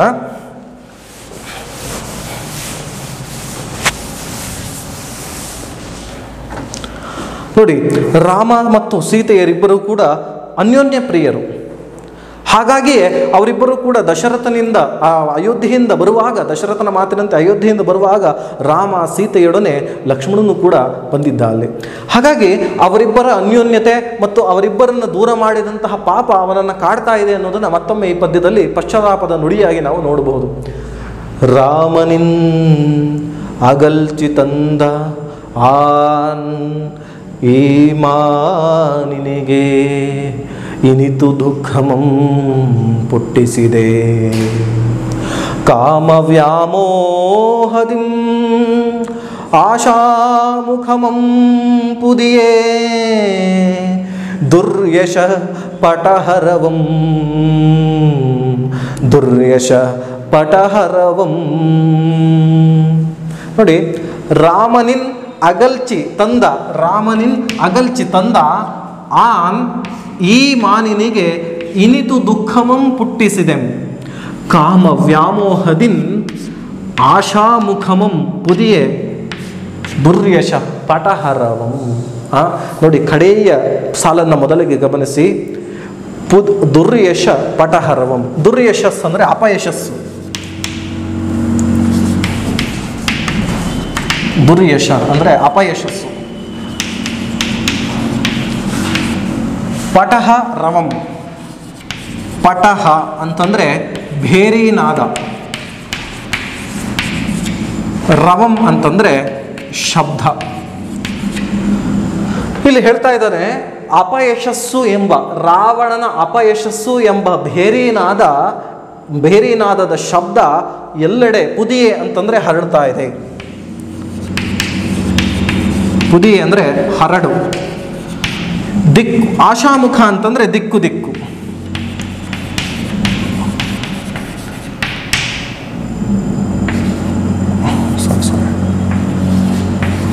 ಆಶಾ ಮುಖ. ನೋಡಿ, ಯಾಕೆ ನಾನು ಕಡೆಯ ಸಾಲನ್ನೇ ಆಯ್ಕೆ ಮಾಡಿಕೊಂಡೆ ಪದ್ಯದ ವಿವರಣೆಯನ್ನು ಹೇಳುವಾಗ ಅಂತಂದರೆ ಇಲ್ಲಿ ಅವನು ಹೇಳುವ ಸನ್ನಿವೇಶ, ಅವನಿಗಿರುವ ಹಿರಿಮೆ ಗರಿಮೆಗಳು ಹೇಗೆ ನಾಶವಾಗ್ತಾ ಇದೆ, ಅವನ ಅಪಯಶಸ್ಸು ಹೇಗೆ ಹರಡ್ತಾ ಇದೆ ಅನ್ನೋದನ್ನು ನಾವಿಲ್ಲಿ ಗಮನಿಸ್ಬೋದು. ನೋಡಿ, ರಾವಣ ಅಂದ ತಕ್ಷಣ ಇಡೀ ದೇಶದಾದ್ಯಂತ ಅಂದರೆ ಅಂದಿನ ಕಾಲಕ್ಕೆ ಗೋಚರವಾಗ್ತಿದ್ದು ಅತ್ಯಂತ ಪರಾಕ್ರಮಿಯಾದಂತಹವನು, ಬಹಳ ಸಹನಶೀಲವುಳ್ಳವನಾದಂಥವನು ಆ, ಶಿವನನ್ನೇ ಗೆದ್ದಂಥವನು ಹೀಗೆ ನಾನಾ ಬಗೆಯಲ್ಲಿ ರಾವಣನ ಪ್ರತಾಪಗಳೇ ಇಡೀ ದಿಕ್ಕು ದಿಕ್ಕಿಗೂ ಹರಡಿದ್ದಂಥ ಸನ್ನಿವೇಶ. ರಾವಣ ಅಂತಂದರೆ ಎಲ್ಲರೂ ಗೌರವಿಸ್ತಿದ್ರು ಎಲ್ಲವರು ಹೆದರ್ತಿದ್ರು ತಪ್ಪು ಮಾಡಲಿಕ್ಕೆ ಇಂತಹ ವ್ಯಕ್ತಿತ್ವವುಳ್ಳವನಾಗಿದ್ದ. ಇಂತಹ ರಾವಣನ ವ್ಯಕ್ತಿತ್ವಕ್ಕೆ ಒಂದು ಕಪ್ಪು ಚುಕ್ಕಿಯಾಗಿ ಈಗ ಪರಿವರ್ತನೆ ಆಗ್ತಾ ಇರತಕ್ಕಂಥದ್ದು ಏನಪ್ಪ ಅಂತಂದರೆ ದಿಕ್ಕು ದಿಕ್ಕಿಗೂ ಅವನ ಅಪಯಶಸ್ಸು ಹರಡ್ತಾ ಇದೆಯಂತೆ. ಅದನ್ನು ಈಗ ಅರಿತುಕೊಳ್ತಾ ಇದ್ದಾನೆ ರಾವಣ. ಯಾವ ಕಾರಣಕ್ಕಾಗಿ? ನೋಡಿ ಇಲ್ಲಿದೆ. ರಾಮನಿನ್ ಅಗಲ್ಚಿ ತಂದ ಆನ್ ರಾಮನಿಂದ ಅಗಲಿಸಿ. ಅಂತಂದರೆ ರಾಮ ಮತ್ತು ಸೀತೆಯರಿಬ್ಬರು ಅನ್ಯೋನ್ಯರಾಗಿದ್ದರು. ರಾಮನಿಂದ ಸೀತೆಯನ್ನು ನಾನು ಹೊತ್ತು ತಂದಿದ್ದೇನೆ. ಹಾಗಾಗಿ ರಾಮನಿಂದ ಸೀತೆಯನ್ನು ದೂರ ಮಾಡಿ ತಂದಂತಹ ನಾನು ಈ ಮಾನಿನಿಗೆ, ಈ ಸೀತೆಗೆ ಹಿನಿತು ದುಃಖ ಪುಟ್ಟಿಸಿದೆ. ಎಷ್ಟು ದುಃಖವನ್ನು ಕೊಟ್ಟಿದ್ದೇನೆ. ಯಾಕೆಂದರೆ ಈಗ ಅರ್ಥ ಆಗ್ತಾ ಇದೆ. ಯೋಚನೆ ಮಾಡಬೇಕಾದಂಥ ಸನ್ನಿವೇಶ ಏನಪ್ಪ ಅಂತಂದರೆ ರಾಮನಿಲ್ಲದ ಸೀತೆ, ಅವಳು ಮೂರ್ಛಿತಳಾಗ್ತಾಳೆ ಅನ್ನೋದಾದರೆ ಆ ಸೀತೆ ರಾಮನ ಮೇಲೆ ಅದೆಷ್ಟು ಅತೀವವಾದ ಪ್ರೀತಿಯನ್ನು ಇಟ್ಟಿರಬಹುದು ಅನ್ನೋದನ್ನು ರಾವಣ ಈಗ ಅರ್ಥ ಮಾಡಿಕೊಂಡಿದ್ದಾನೆ. ಹಾಗಾಗಿ ಮಾನಿನಿಗೆ ಏನಿತು ದುಃಖಮಂ ಪುಟ್ಟಿಸಿದೆ ಎಷ್ಟು ದುಃಖವನ್ನು ನಾನು ಕೊಟ್ಟಿದ್ದೇನೆ, ಎಷ್ಟು ದುಃಖವನ್ನು ಹುಟ್ಟಿಸಿದ್ದೇನೆ ನಾನು, ಯಾವ ಕಾರಣಕ್ಕಾಗಿ? ಕಾಮ ವ್ಯಾಮೋಹದಿಂದ. ಹಾಗಾಗಿ ಯಾರೂ ಕೂಡ, ಆ, ಮನ್ಮಥನ ವ್ಯಾಮೋಹಕ್ಕೆ, ಕಾಮದ ವ್ಯಾಮೋಹಕ್ಕೆ, ಹೆಣ್ಣಿನ ಮೇಲಿನ ವ್ಯಾಮೋಹಕ್ಕೆ ಒಳಗಾಗಿ ಕೆಟ್ಟ ಕೆಲಸಗಳನ್ನು ಮಾಡಬಾರ್ದು. ಹಾಗೆ ಮಾಡಿದರೆ ರಾವಣನಿಗಾದಂತಹ ಸ್ಥಿತಿಯೇ ನಮಗೂ ಕೂಡ ಒದಗುತ್ತದೆ ಎಂಬ ಪಾಠವೂ ಕೂಡ ಈ ಪದ್ಯದಲ್ಲಿ ಅಡಕವಾಗಿದೆ. ಹೇಗೆ ರಾವಣನ ಯಶಸ್ಸು ಇಡೀ ದೇಶದಾದ್ಯಂತ ಹರಡಿತ್ತು, ಈಗ ಅಪಶ, ಅಪಯಶಸ್ಸು ಹೇಗೆ ಹರಡ್ತಾ ಇದೆಯೋ, ಹಾಗೆ ನಾವು ಕ ಹೆಣ್ಣಿನ ವ್ಯಾಮೋಹಕ್ಕೆ ಒಳಗಾಗಿ, ಕಾಮದ ವ್ಯಾಮೋಹಕ್ಕೆ ಒಳಗಾಗಿ ತಪ್ಪನ್ನು ಮಾಡಿದರೆ ನಮ್ಮ ಕೀರ್ತಿಗಳು, ನಮ್ಮ ಗುಣಗಳು, ನಮ್ಮ ಅಪಯಶಸ್ಸುಗಳು, ಆ ಅವಗುಣಗಳೆಲ್ಲವೂ ಕೂಡ ಇದೇ ರೀತಿಯಲ್ಲಿ ಹರಡುತ್ತವೆ ನಮ್ಮ ಬಗ್ಗೆ ಜನ ಕೆಟ್ಟದಾಗಿ ಮಾತನಾಡ್ತಾರೆ ಅನ್ನೋದನ್ನು ನಾವು ಗಮನಿಸ್ಬೋದು. ಈಗ ಆ ಥರದ ತಪ್ಪನ್ನು ಮಾಡಿರೋ ಕಾರಣದಿಂದ ರಾವಣ ಇಲ್ಲಿ ಪರಿತಪಿಸ್ತಾ ಇದ್ದಾನೆ. ರಾಮ ಮತ್ತು ಸೀತೆಯನ್ನು ದೂರ ಮಾಡಿ ಈ ಸೀತೆಗೆ ಅದೆಷ್ಟು ದುಃಖವನ್ನು ಕೊಟ್ಟಿದ್ದೇನೆ ನಾನು. ಆ, ಈಗ ಯಾವ ಕಾರಣಕ್ಕಾಗಿ? ನನ್ನಲ್ಲಿ ಉಂಟಾದಂತಹ ಸೀತೆಯ ಮೇಲಿನ ಅನುನಾಗದಿಂದ, ಕಾಮದ ವ್ಯಾಮೋಹದಿಂದ ಆಕೆಗೆ ದುಃಖವನ್ನು ಕೊಟ್ಟಿದ್ದೇನೆ. ಇದು ಇಡೀ ದಿಕ್ಕು ದಿಕ್ಕಿಗೂ ನನ್ನ ದುರ್ಯಶಸ್ಸು, ಅಪಯಶಸ್ಸು ಹರಡ್ತಾ ಇದೆ. ಈ ಹರಡ್ತಾ ಇದೆಯಲ್ಲ ಅಂಥೇಳಿ ಪಶ್ಚಾತ್ತಾಪವನ್ನು ಪಡುವಂತಹ ಪದ್ಯ ಇದಾಗಿರ್ತಕ್ಕಂಥದ್ದು. ಮುಂದಿನ ಪದ್ಯವನ್ನು ನಾವು ಗಮನಿಸೋಣ.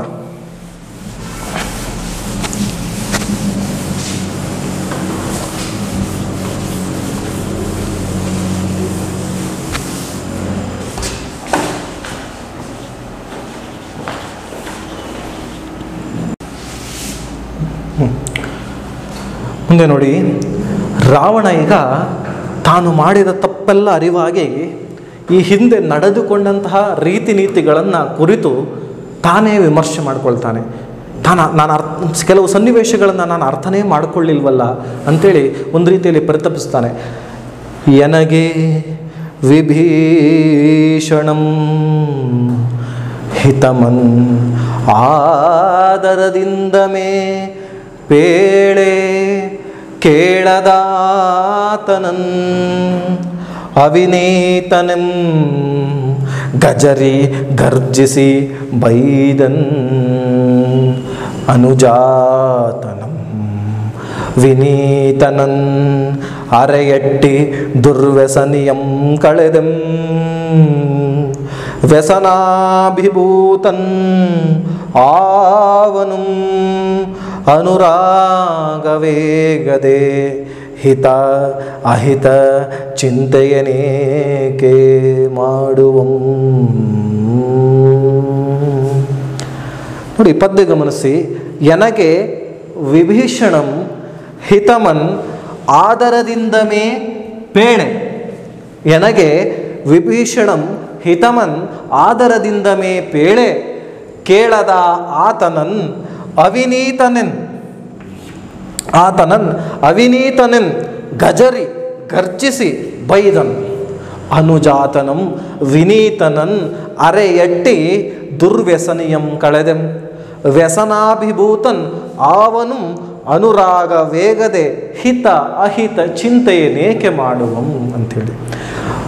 ತಾನು ಎಂತಹ ತಪ್ಪನ್ನು ಮಾಡಿದ್ದೇನೆ, ತಾನೆಂತಹ ಮತ್ತಿಗೆ ಒಳಗಾಗಿ ಕೆಲಸಗಳನ್ನು ಮಾಡಿದ್ದೇನೆ. ನನಗೆ ಒಳ್ಳೆಯದ್ಯಾವುದು ಕೆಟ್ಟದಾವುದು ಅನ್ನೋ ಆಲೋಚನೆ ಮಾಡುವ ಶಕ್ತಿಯನ್ನೇ ಕಳೆದುಕೊಂಡಿದ್ದೆ ಅನ್ನುವ ಅಂಶವನ್ನು, ಅನ್ನುವಂತಹ ಒಂದು ತನ್ನ ಸ್ವ ವಿಮರ್ಶೆಯನ್ನು ರಾವಣನಲ್ಲಿ ನಾವಿಲ್ಲಿ ಗಮನಿಸ್ಬೋದಾಗಿದೆ ಎನಗೆ ವಿಭೀಷಣಂ. ವಿಭೀಷಣ ಯಾರು? ರಾವಣನ ಸಹೋದರ.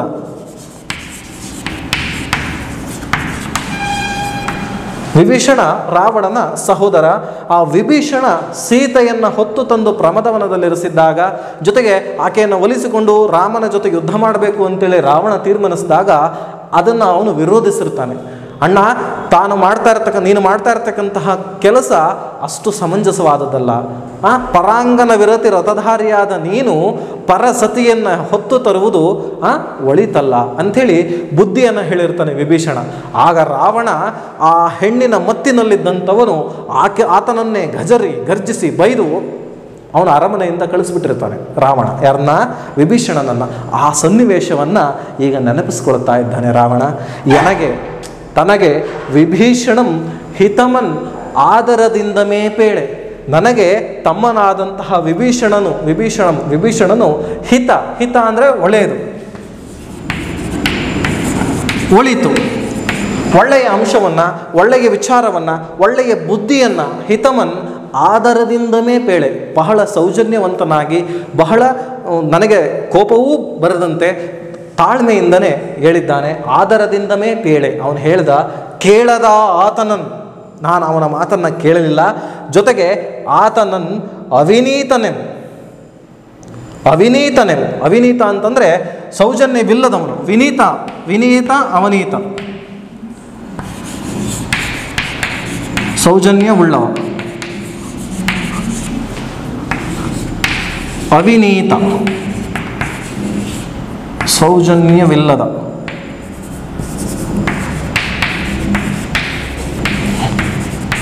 ಸೌಜನ್ಯವಿಲ್ಲದ. ಹಾಗಾಗಿ ತಮ್ಮ ಒಳ್ಳೆಯ ವಿಚಾರವನ್ನು, ಒಳ್ಳೆಯ ಬುದ್ಧಿಯನ್ನು ನನಗೆ ಹೇಳಿದಾಗ ಆತನನ್ನು ಸೌಜನ್ಯವಿಲ್ಲದ, ಅಣ್ಣನ ಮೇಲೆ ಸೌಜನ್ಯವಿಲ್ಲದವನು ಅಂಥೇಳಿ ಹೇಳಿ ಗಜರಿ ಗಜರಿ ಅಂತಂದರೆ ಬೆದರಿಸಿ. ಬೆದರಿಸಿ, ಗರ್ಜಿಸಿ. ಹೆದರಿಸಿ ಹಾಂ? ಗಜರಿ ಗರ್ಜಿಸಿ ಆತನನ್ನು ಗಜರಿ ಬೆದರಿಸೋದು, ಹೆದರಿಸೋದು ಮಾಡಿ, ಹಾಂ? ತಮ್ಮ ಅಣ್ಣನಾದ ನನಗೇ ಬುದ್ಧಿ ಹೇಳುವಷ್ಟು ಸೊಕ್ಕೆ ನಿನಗೆ ಆ ತೊಲಗಾಚೆ ಅನ್ನುವ ರೀತಿಯಲ್ಲಿ ಮಾತನಾಡಿ ರಾವಣ ವಿಭೀಷಣನನ್ನು ಆ ಬೈದನ್ ಅನುಜಾತನನ್ನು ಸ್ವ ಸ್ವಂತ ಅನುಜಾತ ಅಂತಂದರೆ ತಮ್ಮ, ಸ್ವ ಒಡ ಹುಟ್ಟಿದಂತಹ ತಮ್ಮನನ್ನೇ ಬೈದೋಡಿಸಿದನಲ್ಲ ಯಾರಿಗೋಸ್ಕರವಾಗಿ? ಸೀತೆಗೋಸ್ಕರವಾಗಿ. ಅಂದರೆ ನೋಡಿ ಇಲ್ಲಿ ಗಮನಿಸುವ ಸನ್ನಿವೇಶ ಏನಂತಂದರೆ ಸೋದರರನ್ನೇ, ಆ, ಹೆಣ್ಣಿನ ವ್ಯಾಮೋಹ ಅನ್ನುವುದು ಜಗಳವಾಡಿಸುವಂಥದ್ದು, ಭೇದವನ್ನು ತಂದು, ತಂದಿಡುವಂಥದ್ದು ಮಾಡುತ್ತೆ ಅನ್ನೋದನ್ನು ನಾವಿಲ್ಲಿ ಗಮನಿಸ್ಬೋದು. ನನಗೆ ವಿಭೀಷಣಂ ಹಿತಮನೆ ಆಧಾರದಿಂದ ಪೇಳೆ ನನಗೆ ವಿಭೀಷಣ ತಮ್ಮನಾದಂತಹ ವಿಭೀಷಣ ಒಳ್ಳೆಯ ಮಾತುಗಳನ್ನು ತುಂಬ ಪ್ರೀತಿಯಿಂದ ಆಧಾರದಿಂದ ಅಂದರೆ ಪ್ರೀತಿಯಿಂದನೇ ಹೇಳ್ದ. ಅಷ್ಟು ಪ್ರೀತಿಯಿಂದ ಹೇಳಿದರೂ ಕೂಡ ನಾನು ಅವನ ಮಾತನ್ನು ಕೇಳಲಿಲ್ಲ. ಅಲ್ಲದೆ ಅಂತಹ ಒಳ್ಳೆಯವನನ್ನು, ಅಂತಹ ಸಹೋದರನನ್ನು ಅವಿನೀತ, ಸೌಜನ್ಯ, ಅಣ್ಣನ ಮೇಲೆ ಸೌಜನ್ಯವಿಲ್ಲದವನು ಅಂತೇಳಿ ಅವನಿಗೆ ಬೆದರಿಸಿ, ಹೆದರಿಸಿ, ಬೈದು, ಆತನನ್ನು ನಾನು ಕಳಿಸ್ಬಿಟ್ಟೆ. ಅನುಜಾತನಂ ವಿನೀತನನ್, ಸೌಜನ್ಯವುಳ್ಳವನನ್ನು. ವಿನೀತನನ್ ಅರೆಯಟ್ಟಿ ಅರೆಯಟ್ಟಿ ಅಂದರೆ ಅರಮನೆಯಿಂದ ಹೊರ, ಹೊರಗೋಗುವಂತೆ ನಾನು ಮಾಡಿಬಿಟ್ಟೆ. ದುರ್ವ್ಯಸನಿಯಂ ಕಳೆದೆಂ, ದುರ್ವ್ಯಸನಿ, ದುರ್ವ್ಯಸನ ಅಂದರೆ ಕೆಟ್ಟ ಚಟ. ಕೆಟ್ಟ ಕೆಲಸ. ದುರ್ ಸಾರಿ ಸಾರಿ ಸಾರಿ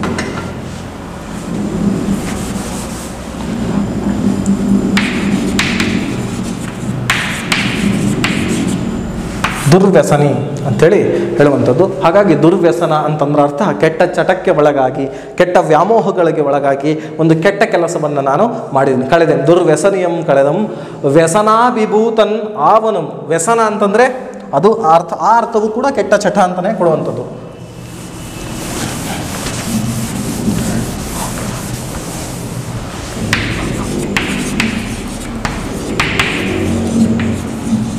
ಚಟ, ವ್ಯಸನ ಅಂತಂದರೆ ಚಟ. ಯಾರು ಈ ವ್ಯಾಮೋಹದ ಚಟಕ್ಕೆ ಒಳಗಾದಂಥವನು ಅಂಥೇಳಿ ಅರ್ಥ. ಯಾರು ವ್ಯಾಮೋಹಕ್ಕೆ ಒಳಗಾದಂಥವನು, ಕೆಟ್ಟ ಚಟಗಳಿಗೆ ಒಳಗಾಗುವವನು ಯಾರಿದ್ದಾರೆ, ಅವನು ಯೋಚನೆ ಮಾಡುವಂಥ ಶಕ್ತಿಯನ್ನು ಕಳೆದುಕೊಂಡಿರ್ತಾನೆ ಅನ್ನೋದನ್ನು ನಾವಿಲ್ಲಿ ಗಮನಿಸ್ಬೋದು ನೋಡು. ದುರ್ವ್ಯಸನಿಯಂ ಕಳೆದಂ ವ್ಯಸನಾಭಿಭೂತನ್ ಆವನಂ.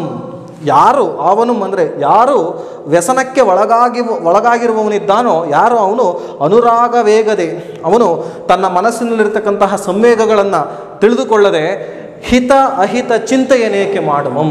ಹಿತ ಅಂತಂದರೆ ಒಳ್ಳೆಯದು. ಹಿತ ಒಳ್ಳೆಯ, ಅಹಿತ ಕೆಟ್ಟ. ನಾನು ಮಾಡ್ತಾ ಇರುವಂತಹ ಕೆಲಸ ಒಳ್ಳೆಯದ? ಕೆಟ್ಟದ್ದ ಹಿತ, ಅಹಿತ ಚಿಂತೆಯನೇಕೆ ಮಾಡುವನು? ನಾನು ಮಾಡ್ತಾ ಇರ್ತಕ್ಕಂಥ ಕೆಲಸ ಒಳ್ಳೆಯದು, ಕೆಟ್ಟದ್ದು, ಸರಿಯೋ, ತಪ್ಪೋ ಅನ್ನೋ ಆಲೋಚನೆಯನ್ನೇ ಕಳೆದುಕೊಂಡೆನಲ್ಲ? ಯಾವುದಕ್ಕೆ ಒಳಗಾಗಿ? ವ್ಯಸನಕ್ಕೆ ಒಳಗಾಗಿ. ಯಾವ ವ್ಯಸನ ಇವನಿಗಿರುವುದು? ಮದ್ಯ ವ್ಯಸನವೇ ಧೂಮ ವ್ಯಸನವೇ ಅಲ್ಲ. ಇವನಿಗಿರುವಂತಹ ವ್ಯಸನ ಯಾವುದಪ್ಪ ಇದೆ ಈಗ ಅಂತಂದರೆ ಹೆಣ್ಣಿನ ಮೇಲಿನ ವ್ಯಾಮೋಹವೆಂಬ ವ್ಯಸನ. ಸೊ ಹಾಗಾಗಿ ಇಲ್ಲಿ ಕವಿ ಹೇಳ್ತಾ ಇರ್ತಕ್ಕಂಥದ್ದು, ಅದರಲ್ಲೂ ರಾವಣನ ಮಾತು ಏನಂತಂದರೆ, ನಾನು ವಿಭೀಷಣ ಒಳ್ಳೆಯ ಮಾತುಗಳನ್ನು ಹೇಳ್ದ, ಅದನ್ನು ನಾನು ಕೇಳಲೇ ಇಲ್ಲ. ಈಗ ಅದರ ಕುರಿತಾಗಿ ಅವನು ಪಶ್ಚಾತ್ತಾಪವನ್ನು ಪಡ್ತಾ ಇದ್ದಾನೆ. ಹಾಗಾಗಿ ಯಾರು ವ್ಯಸನಕ್ಕೆ ಒಳಗಾಗಿರ್ತಾನೋ, ಯಾರು ದುಶ್ಚಟಗಳಿಗೆ ಒಳಗಾಗಿರ್ತಾನೋ, ಯಾರು ಹೆಣ್ಣಿನ ವ್ಯಾಮೋಹಕ್ಕೆ ಒಳಗಾಗಿರ್ತಾನೋ, ಆತ ತಾನು ಮಾಡುತ್ತಿರುವ ಕೆಲಸ ಒಳ್ಳೆಯದು, ಕೆಟ್ಟದ್ದು ಎಂಬ ಆಲೋಚನೆಯನ್ನು ಮಾಡುವುದನ್ನೇ ಕಳೆದುಕೊಂಡು ಬಿಟ್ಟಿರ್ತಾನೆ. ಹಾಗಾದೇನಲ್ಲ ನಾನು? ನಾನು ಆಗಲೇ ಆರಂಭದಲ್ಲಿ ಹೇಳಿದ್ದೆ, ರಾವಣನು ಇಲ್ಲಿ ರಾಕ್ಷಸನಲ್ಲ, ದಶಾನನ ಅಂತಂದರೆ ಹತ್ತು ತಲೆಗಳನ್ನು ಉಳ್ಳವನಲ್ಲ, ಹತ್ತು ಬಗೆಯ ಆಲೋಚನೆಗಳನ್ನು ಮಾಡುವನು. ಒಮ್ಮೆ ಕನ್ನಡಿಯಲ್ಲಿ ತನ್ನ ಬಿಂಬವನ್ನು ಕಂಡಾಗ ಹತ್ತು ತಲೆಗಳು ಗೋಚರವಾಯಿತು. ಹಾಗಾಗಿ ಕವಿ ಹತ್ತು ಬ, ಹತ್ತು ರೀತಿ ಆಲೋಚನೆ ಮಾಡುವ, ಹತ್ತು ಬಗೆಯ ವಿವಿಧ ಕನ್ನಡಿಯಲ್ಲಿ ಮುಡಿದಂತಹ ತಲೆಯನ್ನೇ ಇಟ್ಟುಕೊಂಡು ದಶಾನನ ಅಂತ ಹೇಳಿದ್ದ ಅಂತಂದ್ರಿ. ಅಷ್ಟು ಆಲೋಚನೆ ಮಾಡುವ ಒಬ್ಬ ರಾಜನಾಗಿರ್ತಕ್ಕಂಥವನು ಒಂದು ವಿಚಾರದ ನಿರ್ಧಾರವನ್ನು ತೆಗೆದುಕೊಳ್ಳುವಾಗ ಎಷ್ಟು ಬಾರಿ ಆಲೋಚನೆ ಮಾಡಬೇಕಾಗಿರುತ್ತೆ? ಆದರೆ ಸ್ವತಃ ತನ್ನದೇ ವಿಷಯಕ್ಕೆ ಬಂದಾಗ, ಸೀತೆಯನ್ನು ಅಪಹರಿಸುವಾಗ ಯಾವ ಆಲೋಚನೆಯನ್ನು ಮಾಡಲಿಲ್ವಲ್ಲ? ಒಳ್ಳೆಯದ್ಯಾವುದು ಕೆಟ್ಟದ್ಯಾವುದು ಅನ್ನೋದು ನನಗೆ ಗೋಚರವೇ ಆಗಲಿಲ್ವಲ್ಲ? ಆ, ಅಂತಹ ಒಂದು ಮೋಹಕ್ಕೆ, ಮಾಯೆಗೆ ಒಳಗಾದೆನಲ್ಲ ನಾನು ಎಂಬುದಾಗಿ ರಾವಣ ಇಲ್ಲಿ ಚಿಂತಿಸ್ತಾನೆ. ಇಲ್ಲಿ ಗಮನಿಸಬೇಕಾದ ಅಂಶ, ವಿಭೀಷಣ, ತಮ್ಮನಾದ ವಿಭೀಷಣ, ಆ ಪರಾಂಗನ ವಿರತಿ ರಥಧಾರಿಯಾದ ನೀನು ಸೀತೆಯನ್ನು ಹೊತ್ತು ತರುವುದು ಸರಿಯಲ್ಲ ಅಂತ ಹೇಳಿದರೂ ಕೂಡ, ಆ ಅವನನ್ನೇ ಬೈದು ಓಡಿ ಅರಮನೆಯಿಂದ ಓಡಿಸಿದೆ ನಾನು. ಅಂತಹ ಒಳ್ಳೆಯ ಆಲೋಚನೆಗಳನ್ನು, ಒಳ್ಳೆಯ ವಿಷಯಗಳನ್ನು ಹೇಳುವಂಥ ತಮ್ಮನನ್ನು ಕಳೆದುಕೊಂಡೆ. ಯಾವ ಕಾರಣದಿಂದ? ಈ ಹೆಣ್ಣಿನ ವ್ಯಾಮೋಹದ ಕಾರಣದಿಂದ.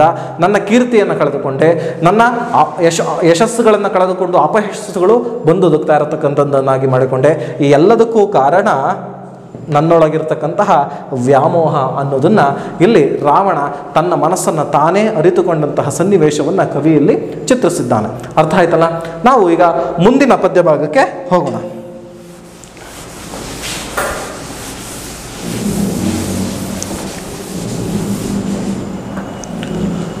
ರಾವಣ ಈ ಭಾಗದಲ್ಲಿ ತನ್ನ ತಪ್ಪಿನಿಂದಾದಂತಹ ತನ್ನದೇ ಅರಿವಿನ ಕೇಡಿನಿಂದ ಆದಂತಹ ಎಲ್ಲ ಬಗೆಯ ಒಂದು ಸಂಕಟಗಳನ್ನು, ತನಗೆ ಬಂದೊದಗಿದಂತಹ ಎಲ್ಲ ಅವಘಡಗಳನ್ನು ಈ ಪದ್ಯದಲ್ಲಿ ಅವನು ಹಿಡಿದಿರ್ತಾ ಹೋಗ್ತಾನೆ, ಹೇಳ್ತಾ ಹೋಗ್ತಾನೆ. ಜಸದ ಅಳಿವಂ ಪರಾಭವದ ಪತ್ತುಗೆಯಂ ದೊರೆವೆತ್ತ ತಮ್ಮ ಮಾನಸಿಕೆಯ ಕೇಡನ್ ಉನ್ನತಿಯ भन्नमन् ಅನ್ಯಭವಾನುಬದ್ಧಮಪ್ಪ ಸುಗತಿಂ ಸುಹೃಜನದ ಬೇವಸಮಂ ಜನತಾಪವಾದಮಂ ಬೆಸನಿಗಳ್ ஆறும் எத்தலறிவர் விஷயாசமத்த ಚೇತಸರ್ ವಿಷಯಾಸಮತ್ತ ಚೇತಸರ್ ಏನು ಹೇಳ್ತಾ ಇದ್ದಾನೆ ಜಸದ ಅಳಿವಂ ಪರಾಭವದ ಪತ್ತುಗೆಯಂ ದೊರೆವೆತ್ತ ತಮ್ಮ ಮಾನಸಿಕಿಯ ಕೇಳನ್ ಉನ್ನತಿಯ ಭನ್ನಮನ್ ಅನ್ಯ ಉನ್ನತಿಯ ಭನ್ನಮನ್ ಅನ್ಯ ಭವಾನುಬದ್ಧಮಪ್ಪ ಸುಗತಿಯಂ ಸುಹೃಜನದ ಬೇವಸಮಂ ಜನತ ಅಪವಾದಮಂ ಬೆಸನಿಗಳ್ ಬೆಸನಿಗಳ್ ಆರುಂ ಎತ್ತಲ್ ಅರಿವರ್ ಬೆಸನಿಗಳ್ ಆರುಂ ಎತ್ತಲ್ ಅರಿವರ್ ವಿಷಯಾಸಮತ್ತ ಚೇಸ ಚೇತಸರ್ ಅಂತೇಳಿ. ಅಂದರೆ ಕಡೆಯ ಸಾಲನ್ನು ಗಮನಿಸಿ ವಿಷಯಾಸಮತ್ತ ಚೇತಸರ್. ವಿಷಯ ಅಂತಂದ್ರೆ ಅರ್ಥ ಅನೇಕ ಚಿಂತನೆಗಳು. ಅಂತಂದರೆ ಈ ಕೆಟ್ಟ ಚಟಗಳಿಗೆ ಒಳಗಾದಂಥದ್ದು ಅಂತೇಳಿ ಅರ್ಥ. ಇಲ್ಲಿ ರಾವಣ ಯಾವ ವಿಷಯಕ್ಕೆ ಮತ್ತನಾಗಿದ್ದಾನೆ, ಯಾವ ವಿಷಯವನ್ನು ಮತ್ತು ಹತ್ತಿದಂತಾಗಿದೆ ಅಂತಂದರೆ ಹೆಣ್ಣಿನ ಮತ್ತು ಅವನಿಗೆ ಹತ್ತಿದೆ. ಸೀತೆಗೆ ಮೇಲಿನ ವ್ಯಾಮೋಹವೆಂಬ ಮತ್ತು ಹತ್ತಿದೆ. ಹಾಗಾಗಿ ವಿಷಯಾಸ ಮತ್ತ ಚೇತಸರ್. ಹೆಣ್ಣಿನ ವ್ಯಾಮೋಹದಿಂದ ಮತ್ತು ಏರಿದಂತಹ ಒಳ್ಳೆ ಒಬ್ಬ ವ್ಯಕ್ತಿಯಾಗಿದ್ದಾನೆ ರಾವಣ. ಅಂಥವು ರಾವಣನಿಂದ ಏನೇನೆಲ್ಲ ಆಗಿದೆ ಅನ್ನೋದನ್ನು ಗಮನಿಸಿ ಜಸದ ಅಳಿವಂ. ಜಸದ ಅಳಿವಂ. ಜಸ ಅಂತಂದರೆ ಯಶ. ಜಸ, ಯಶ, ತತ್ಸಮ ತದ್ಭವ ಪದ. ಯಶಸ್ಸು ಅಂತೇಳಿ ಅರ್ಥ. ಯಶಸ್ಸಿನ ಅಳಿವು. ಅಳಿವು ಅಂದರೆ ನಾಶ. ತನ್ನ ಯಶಸ್ಸು ಏನಾಗ್ತಾ ಇದೆ? ನಾಶವಾಗ್ತಾ ಇದೆ. ಪರಾಭವದ ಪತ್ತುಗೆ. ಪರಾಭವ. ಪರಾಭವ ಅಂದರೆ ಸೋಲು. ಪತ್ತುಗೆ ಅಂದರೆ ಸಂಪರ್ಕ. ಯಾವ್ಯಾವುದೋ ರೂಪಗಳಲ್ಲಿ ರಾವಣನಿಗೆ ಸೋಲು ಸಂಪರ್ಕವಾಗ್ತಾ ಇದೆ. ದೊರೆವೆತ್ತ ಅಂತಂದ್ರೆ ಶ್ರೇಷ್ಠ. ದೊರೆವೆತ್ತ ಅಂತಂದ್ರೆ ಶ್ರೇಷ್ಠ. ಮಾನಸಿಕೆಯ ಕೇಡು. ಶ್ರೇಷ್ಠವಾದ ತನ್ನ ಮನಸ್ಸು ಕೇಡಾಗಿದೆ. ಕೇಡು ಅಂದರೆ ಹಾಳಾಗಿದೆ. ಉನ್ನತಿಯ ಬನ್ನಮನ್. ಉನ್ನತಿ ಅಂದರೆ ಬೆಳವಣಿಗೆ. ಉನ್ನತಿ ಅಂದರೆ ಬೆಳವಣಿಗೆ. ಅಭಿವೃ ಅಭಿವೃದ್ಧಿ ಅಂತ ಹೇಳ್ತೀವಲ್ಲ ಹಾಗೆ. ಬೆಳವಣಿಗೆ ಭನ್ನಮನ. ಬನ್ನ ಭಂಗ. ಇದು ತತ್ಸಮ ತದ್ಭವ ಪದ ಬನ್ನ ಅಂದರೆ ಭಂಗ. ಭಂಗ ಅಂದರೆ ನಾಶವಾಗುವಂಥದ್ದು, ಹಾಳಾಗುವಂಥದ್ದು. ತನ್ನ ಉನ್ನತಿ, ತನ್ನ ಅಭಿವೃದ್ಧಿ ನಾಶವಾಗ್ತಾ ಇದೆ. ಅನ್ಯ ಭವಾನುಬದ್ಧಮಪ್ಪ ಸುಗತಿಯಂ. ಅನ್ಯ ಭವ, ಅನ್ಯ ಅಂತಂದರೆ ಬೇರೆ ಅಂತೇಳಿ ಅರ್ಥ. ಭವ ಅಂದರೆ ಜನ್ಮ. ಅನ್ಯ ಭವಾನುಬದ್ಧಮಪ್ಪ, ಬೇರೆ ಜನ್ಮಗಳಿಂದ ಬಂದಂತಹ ಸುಗತಿಯು, ಹಾಂ, ಒಳ್ಳೆಯ ಗತಿ ಇವತ್ತು ಹಾಳಾಗಿ ಹೋಗ್ತಾ ಇದೆ. ಒಳ್ಳೆಯ ಕೀರ್ತಿಗಳು, ಒಳ್ಳೆಯ ಪೂರ್ವ ಜನ್ಮದ ಪುಣ್ಯಗಳು ಅಂತೇಳಿ ಕರೀತಾರೆ. ಅವೆಲ್ಲವೂ ಕೂಡ ಈಗ ಸ್ವಲ್ಪ ಮಟ್ಟಿಗೆ ನಾಶವಾಗುವಂಥ ಸನ್ನಿವೇಶದಲ್ಲಿದೆ. ಸುಹೃ ಜನದ ಬೇವಸಮಂ ಸುಹೃ ಜನ ಅಂದರೆ ತನ್ನ ಆಪ್ತರು. ರಾವಣನ ಆಪ್ತರು. ಸುಹೃಜನ, ಸಹೃದಯರು.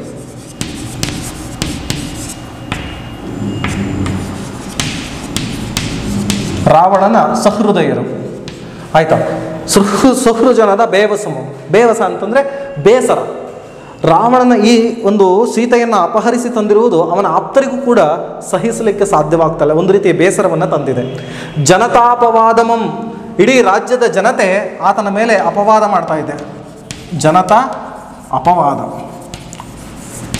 ಅಪವಾದ. ಒಂದು ರೀತಿಯಲ್ಲಿ ರಾವಣನ ಮೇಲೆ ಒಂದು ಏನೋ ತಪ್ಪು ಮಾಡಿದ್ದಾನೆ ಅನ್ನೋ ರೀತಿಯಲ್ಲಿ ಅಪವಾದವನ್ನು ಹೊರಿಸಿವೆ. ಹಾಗಾಗಿ ಜನತಾಪವಾದಮಂ ಬೆಸನಿಗಳ್ ಆರುಂ ಎತ್ತಲರಿವರ್ ವಿಷಯಾಸಮತ್ತ ಚೇತಸರ್. ಈ ಎಲ್ಲ ಒಂದು ಸಂಕೋಲೆಗಳು ಬಂದು ರಾವಣನನ್ನು ಸುತ್ತುವರಿದಿದೆ. ಅಷ್ಟೆಲ್ಲ ಸಂಕೋಲೆಗಳು ಬಂದು ಸುತ್ತುವರಿತಿದ್ರೂ ಕೂಡ ಅವನಿಗೆ ಅದು ಕಣ್ಣಿಗೆ ಕಾಣ ಕಾಣಿಸ್ತಾ ಇಲ್ಲ. ಅಂತಹ ವ್ಯಸನಿಗಳಾದೆ ನಾನು. ಬೆಸನ ಅಂತಂದರೆ ವ್ಯಸನ. ಬೆಸನ ವ್ಯಸನ.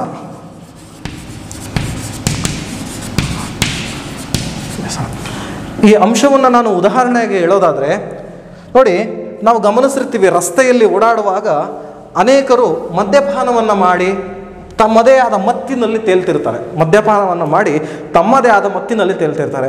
ಕೆಲವರು ಕಡು ಬಡವರಿರ್ತಾರೆ ಕೆಲವರು ಶ್ರೀಮಂತರಿರ್ತಾರೆ, ಇನ್ನು ಕೆಲವರು ತಮ್ಮದೇ ಆದ ಗೌರವಗಳನ್ನು ಸಮಾಜದಲ್ಲಿ ಉಳಿಸ್ಕೊಂಡವರು ಇರ್ತಾರೆ. ಆದರೆ ಕುಡಿದಿರುವಂತಹ ವ್ಯಕ್ತಿ, ಮತ್ತಿಗೇರಿರುವಂತಹ ವ್ಯಕ್ತಿ ತನಗಾಗ್ತಾ ಇರತಕ್ಕಂಥ ಅವಮಾನ, ತನ್ನ ಘನತೆ ಹಾಳಾಗ್ತಾ ಇರೋದನ್ನು ಗಮನಿಸ್ತಾನ? ಕುಡಿಬೇಡ ಕಣಪ್ಪ ಅಂತ ಹೇಳಿದ್ರು, ನಮಗೆ ಬುದ್ಧಿವಾದವನ್ನು ಹೇಳಿ ಕಳಿಸ್ತಾನೆ ಹೊರತು ಅವನಂತೂ ಪರಿವರ್ತಿತವಾಗುವುದಿಲ್ಲ. ಇಡೀ ಸಮಾಜ ದೂಷಿಸ್ತಾ ಇದ್ರು, ಇಡೀ ಸಮಾಜ ಆತನನ್ನು ಹೀಯಾಳಿಸ್ತಿದ್ರು, ಅದರ ಕಡೆಗೆ ಗಮನವೇ ಇರೋದಿಲ್ಲ. ಹೇಗೆ ಒಬ್ಬ ಕುಡಿದು ಮತ್ತಿನಲ್ಲಿರುವ ವ್ಯಕ್ತಿ ತನ್ನ ಸುತ್ತಮುತ್ತಲೂ ತನ್ನ ಬಗ್ಗೆ ಏನೇನು ನಡೀತಾ ಇದೆ, ಏನೇನು ಮಾತನಾಡ್ತಾ ಇದ್ದಾರೆ ಅನ್ನೋದನ್ನು ಗಮನಿಸೋದಿಲ್ವೋ, ಆ ಆಲೋಚನಾ ಲಹರಿಯನ್ನೇ ತನ್ನೊಳಗಡೆ ಇಟ್ಟುಕೊಂಡಿರೋದಿಲ್ವೋ, ಆ ರೀತಿಯಲ್ಲಿ ಆದ್ದಿನಲ್ಲ ಅಂತೇಳಿ ರಾವಣ ಇಲ್ಲಿ ಚಿಂತೆ ಮಾಡ್ತಾ ಇದ್ದಾನೆ. ಜಸದ ಅಳಿವಂ ರಾವಣನ ಯಶಸ್ಸು ಹಾಳಾಗ್ತಾ ಇದೆ. ಸೋಲು ಬಂದುದುಕ್ತಾ ಇದೆ. ಸೋಲಿನ ಸಂಪರ್ಕವಾಗ್ತಾ ಇದೆ. ತನ್ನ ರಾವಣನ ಶ್ರೇಷ್ಠವಾದ ಮನಸ್ಥಿತಿ ಹಾಳಾಗ್ತಿದೆ. ತನ್ನ ಅಭಿವೃದ್ಧಿ, ಉನ್ನತಿಯ ಬನ್ನಮನ್, ತನ್ನ ಅಭಿವೃದ್ಧಿಯು ಭಂಗವಾಗ್ತಾ ಇದೆ ಹಾಳಾಗ್ತಾ ಇದೆ. ಅನ್ಯ ಭವಾನುಬದ್ಧಮಪ್ಪ ಸುಗತಿಯಂ ಪುಣ್ ಪೂರ್ವ ಜನ್ಮದ ಪುಣ್ಯಗಳೆಲ್ಲವೂ ಕೂಡ ಈಗ ಅವು ಕೆಟ್ಟವಾಗಿ ಪರಿವರ್ತಿತವಾಗ್ತಾ ಇದೆ. ಸುಹೃಜನದ ಬೇವಸಮಂ, ತನ್ನದೇ ಆಪ್ತ ಸಹೃದಯರು ತಾನು ಮಾಡಿದ ಕೆಲಸವನ್ನು ಕುರಿತು ಬೇಸರವನ್ನು ವ್ಯಕ್ತಪಡಿಸುತ್ತಿದ್ದಾರೆ ಇದರ ಗಮನವೂ ಇಲ್ಲ. ಜನತಾಪವಾದಂ, ತನ್ನ ರಾಜ್ಯದ ಜನತೆಯೇ ರಾವಣನನ್ನ ಒಂದು ರೀತಿ ಆಪಾದಿತನಂತೆ ನೋಡುತ್ತಿದ್ದಾರೆ. ಅದರ ಕಡೆಗೂ ಗಮನವಿಲ್ಲದಂತಾಯಿತು. ಯಾಕೆ? ನನಗೆ ನಾನೇನಾಗಿದ್ದೆ ಅಂತಂದರೆ ವ್ಯಸನಿಯಾಗಿದ್ದೆ ವ್ಯಸನನಾಗಿದ್ದೆ ಕೆಟ್ಟ ಚಟವುಳ್ಳವನಾಗಿದ್ದೆ. ಯಾವ ವ್ಯಸನ? ಹೆಣ್ಣಿನ ವ್ಯಸನವುಳ್ಳವನಾಗಿದ್ದರಿಂದ ವ್ಯಸನಿಗಳು ಆರು ಎತ್ತಲರಿವರ್. ವ್ಯಸನಕ್ಕೆ ಒಳಗಾದವರು ಯಾರು? ಹೇಗೆ ಇವನ್ನೆಲ್ಲ ಅರಿತುಕೊಳ್ಳುತ್ತಾರೆ? ಯಾವುಗಳನ್ನು? ತಮಗಾಗ್ತಾ ಇರ್ತಕ್ಕಂಥ ಅವಮಾನಗಳನ್ನು, ತಮಗಾಗ್ತಾ ಇರ್ತಕ್ಕಂಥ ಸೋಲನ್ನು ಹೇಗೆ ತಾನೇ ಅರಿತುಕೊಳ್ತಾರೆ ಹಾಗೆ ವಿಷಯ ಆಸಮತ್ತ ಚೇತ ಸರ್. ಒಂದು ವಿಷಯಕ್ಕೆ ಒಳಗಾಗಿ, ಒಂದು ಹೆಣ್ಣಿನ ವ್ಯಾಮೋಹಕ್ಕೆ ಒಳಗಾಗಿ ಮತ್ತು ಹೇರಿದಂತಹ ವ್ಯಕ್ತಿಯಾದ, ವ್ಯಕ್ತಿಯಾಗಿರುವ ನಾನು ಇವನ್ನೆಲ್ಲ ಹೇಗೆ ನಾನು ಗಮನಿಸ್ಲಿಕ್ಕೆ ಸಾಧ್ಯ ಮಾಡಲಿಲ್ವಲ್ಲ ಆ- ಮಾಡ್ಲಿಲ್ವಲ್ಲ? ಹಾಗೆ ಗಮನಿಸಲೇ ಇಲ್ವಲ್ಲ? ಒಬ್ಬ ಮತ್ತಿಗೇರಿದ ವ್ಯಕ್ತಿ ತನಗಾಗ್ತಾ ಇರ್ತಕ್ಕಂಥ ಅವಮಾನವನ್ನು, ತನಗಾಗ್ತಾ ಇರ್ತಕ್ಕಂಥ ಸೋಲನ್ನು ಹೇಗೆ ಗಮನಿಸಲಿಕ್ಕೆ ಸಾಧ್ಯವಾಗುವುದಿಲ್ಲವೋ ಹಾಗೆ ರಾವಣ ಸೀತೆಯ ಮೇಲಿನ ವ್ಯಾಮೋಹವೆಂಬ ಮತ್ತಿಗೇರಿದ್ರಿಂದ ತನಗಾಗಿರುವಂತಹ ಈ ಎಲ್ಲ ಅವಮಾನಗಳು ತನಗಾಗಿರ್ತಕ್ಕಂಥ ಈ ಎಲ್ಲ ಸೋಲುಗಳನ್ನು ಗಮನಿಸಲೇ ಇಲ್ಲವಲ್ಲ ಅಂಥೇಳಿ ಈಗ ಪರಿತಪಿಸ್ತಾ ಇದ್ದಾನೆ. ಹಾಗಾಗಿ ಇಲ್ಲಿ ನೋಡಿ ಇಂತಹ ಒಂದು ಘಟನೆ ಅಂತಂದರೆ ರಾವಣನ ಇಂತಹ ಮನಸ್ಥಿತಿಯನ್ನು ನಾವಿಲ್ಲಿ ಗಮನಿಸುವಂಥದ್ದು. ಅದರಲ್ಲೂ ಕೂಡ ಪಶ್ಚಾತ್ತಾಪ. ತಪ್ಪು ಮಾಡೋದು ಇಲ್ಲಿ ಸಹಜವಾದಂತಹ ಸನ್ನಿವೇಶ. ತನ್ನ ತಪ್ಪನ್ನು ತಿದ್ದಿಕೊಂಡು ಆ ತಪ್ಪನ್ನು ಮತ್ತೆ ಮಾಡಬಾರದು ಅಂತೇಳಿ ತನ್ನೊಳಗಡೆ ಪಶ್ಚಾತ್ತಾಪ ಪಡೋದು ಇದೆಯಲ್ಲ? ಇದು ಮಾನವ ಸಹಜ ಗುಣವಾಗಬೇಕು. ಅಂತಹ ಸಹಜ ಗುಣ, ಉದಾತ್ತ ಗುಣ ರಾವಣನಲ್ಲಿದೆ ಅನ್ನೋದನ್ನು ನಾವು ಈ ಪದ್ಯದ ಮೂಲಕವಾಗಿ ಇಲ್ಲಿ ಗಮನಿಸ್ಬೋದು ಈ ಪದ್ಯ ವೃತ್ತದಲ್ಲಿ ರಚನೆ ಆಗಿರ್ತಕ್ಕಂಥದ್ದು ನೋಡಿ, ಅಲ್ಲಿ ಹಂಗೆ, ಎಂದು ಉದ್ವೇಗಪರನಾಗಿ ನುಡಿದು ಆತ್ಮಗತದೊಳ್ ಇಂತೆಂದಂ. ಈ ಮಾತುಗಳನ್ನೆಲ್ಲ ಅವನು ಇಡೀ ಸಭೆಯನ್ನು ಅಂತಂದರೆ ತನ್ನ ಪ್ರಮದವನದಲ್ಲಿದ್ದನಲ್ಲ, ಆ ಜನತೆಯನ್ನು ಅಲ್ಲಿದ್ದಂಥವರನ್ನು ಉದ್ದೇಶಿಸಿ ಮಾತನಾಡ್ದ. ಹಾಗಾಗಿ ಎಂದು ಉದ್ವೇಗಪರನಾಗಿ ನುಡಿದು. ಏನು ಉದ್ವೇಗಪರನಾಗಿ ಅಂತಂದರೆ ಈ ಸೀತೆ ಮೂರ್ಛಿತಳಾದ ಸನ್ನಿವೇಶವನ್ನು ಕಂಡು ಬಹಳ ಕರುಣೆ, ಅನುಕಂಪ ಹುಟ್ಟಿದವನಾಗಿ ಆ ಒಂದು ಆವೇಶದಲ್ಲಿ ನುಡಿದ ಮಾತುಗಳನ್ನು, ದುಃಖದಲ್ಲಿ ನುಡಿದ ಮಾತುಗಳನ್ನು ಹೀಗೆ ನುಡಿದು ಆತ್ಮಗತದೊಳು ತನ್ನೊಳಗೆ, ಆತ್ಮಗತದೊಳಗೆ, ಅಂತರಂಗದೊಳಗೆ ಇಂತೆಂದಂ ಅಂತರಂಗದೊಳಗೆ ಒಂದು ಆಲೋಚನೆಯನ್ನು ಮಾಡ್ತಾ ಇದ್ದಾನೆ ರಾವಣ. ಏನು ಆ ಆಲೋಚನೆ? ಯಾವ ರೀತಿಯ ಒಂದು ನಿರ್ಧಾರವನ್ನು ಅವನಿಗೆ ತೆಗೆದುಕೊಳ್ತಾನೆ? ಈಗ ಸೀತೆಯ ಮೇಲೆ ವ್ಯಾಮೋಹ ಹೋಗಿ ವೈರಾಗ್ಯ ಮೂಡಿದೆ. ಆಕೆಯನ್ನು ಇಲ್ಲೇ ಇಟ್ಕೊಂಡ್ರೆ ಸರಿನಾ? ಅಥವಾ ರಾಮನಿಗೆ ಕೊಡೋದಾ? ರಾಮನಿಗೆ ಕಳು ಕಳ, ರಾಮನೆಡೆಗೆ ಕಳಿಸಿಕೊಡೋದಾದರೆ ರಾವಣನ ಘನತೆ ಏನಾಗಬೇಡ? ಈ ಎಲ್ಲ ಆಲೋಚನೆಗಳನ್ನು ನಾವು ಮುಂದಿನ ಪದ್ಯದಲ್ಲಿ ಗಮನಿಸ್ಬೋದು. ಮುಂದಿನ ಪದ್ಯವನ್ನು ನಾವು ನೋಡೋಣ.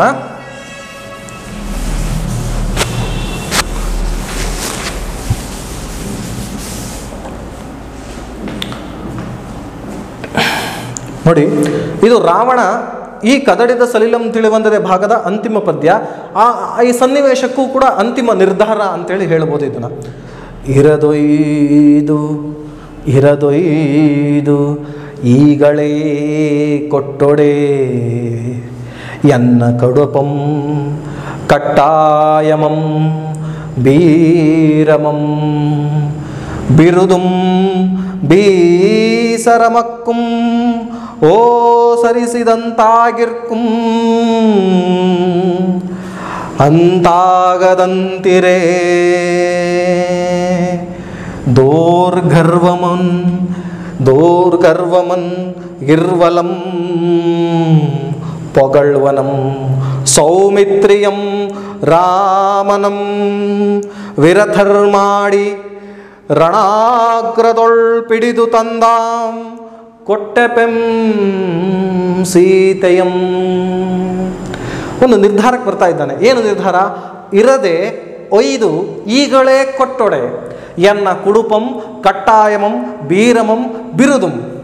ಬೀಸರಿಸಿ ಓ ಸರಿಸಿದಂತಾಗಿರ್ಕುಂ ಬಿ ಸರಿಸಿ ಓ ಸರಿಸಿದಂತಾಗಿರ್ಕುಂ ಅಂತಾಗದಂತಿರೇ. ಅಂತ ಹಾಗಾಗಬಾರ್ದು ಅಂತಂದರೆ, ದೋರ್ಗರ್ವಮನ್, ಇರ್ವಲಂ ಪೊಗಳ್ವನಂ ಸೌಮಿತ್ರಿಯಂ ರಾಮನಂ ವಿರಥರ್ ಮಾಡಿ. ಯುದ್ಧದಲ್ಲಿ ಸೌಮಿತ್ರಿಯಂ ರಾಮನಂ ವಿರಥರ್ ಮಾಡಿ ರಣಾಗ್ರದೊಳ್ ಪಿಡಿದು ತಂದು ಆಂ ಕೊಟ್ಟ ಪೆಂ ಸೀತೆಯಂ ಅಂಥೇಳಿ ತೀರ್ಮಾನವನ್ನು ಮಾಡ್ತಾನೆ.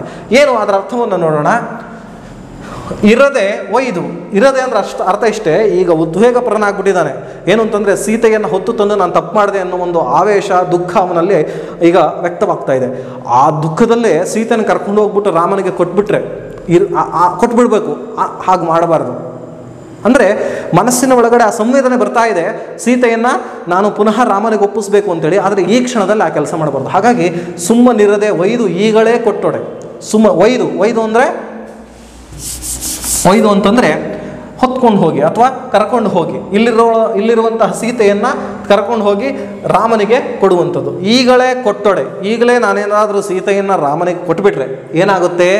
ಎನ್ನ ಕುಡುಪಂ. ಕುಡುಪಂ. ಕುಡುಪಂ. ಕಟ್ಟಾಯಮಂ. ಬೀರಮಂ. ಬಿರುದುಂ. ಏನು? ಹಾಗಂತಂದ್ರೆ, ಎನ್ನ ಕುಡುಪಂ ಪರಾಕ್ರಮ. ರಾವಣನ ಪರಾಕ್ರಮ. ಕಟ್ಟಾಯಮಂ. ಕಟ್ಟಾಯಮಂ ಅಂತಂದ್ರೆ ಸಾಮರ್ಥ್ಯ, ಶೌರ್ಯ. ಸಾಮರ್ಥ್ಯವನ್ನು. ಬೀರಮಂ ಅಂದರೆ ವೀರತ್ವ. ಬಿರುದು ಅಂದ್ರೆ ಬಿರುದುಗಳು. ನಾನೇನಾದರೂ ಈಗ ಸುಮ್ಮನಿರದೆ ಈ ಆವೇಶಪರನಾಗಿದ್ದೀನಲ್ಲ ಆ, ಸು ಸುಮ್ಮನಿರ್ದಾರ್ದನೆ ಅದೇನೋ ಮಾಡಿದ್ರು ಅಂತ ಹೇಳ್ತಾರಲ್ಲ ಆ ರೀತಿಯಲ್ಲಿ ನಾನೇನಾದರೂ ಸುಮ್ಮನಿರ್ದನೆ ಸೀತೆನ ಕರ್ಕೊಂಡು ಹೋಗಿ ರಾಮನಿಗೇನಾದರೂ ಕೊಟ್ಬಿಟ್ರೆ ಹೀಗಲೇ ಸುಮ್ಮನೆ ಕೊಟ್ಬಿಟ್ರೆ ಕುಡುಪಮಂ ಕಟ್ಟಾಯಮಂ ಬೀರಮಂ ಬಿರುದಂ ಬೀಸರಿಸದಂತಾಗಿ. ನನ್ನ ಪರಾಕ್ರಮ ಸಾಮರ್ಥ್ಯ ವೀರತ್ವ ಬಿರುದುಗಳೆಲ್ಲವೂ ಬೀಸರಿಸದಂತಾಗಿರ್ಕೊ ಏನಾಗೋದು? ಬೀಸರ ಅಂತಂದರೆ ವ್ಯರ್ಥ. ಬೀಸರ ಅಂತಂದರೆ ವ್ಯರ್ಥ. ಇವೆಲ್ಲವೂ ಏನಾಗ್ತದೆ? ಪರಾಕ್ರಮ, ಸಾಮರ್ಥ್ಯ, ವೀರತ್ವ, ಬಿರುದುಗಳು ಎಲ್ಲವೂ ಕೂಡ ವ್ಯರ್ಥವಾದಂತೆ. ಯಾವ ಕಾರಣಕ್ಕಾಗಿ?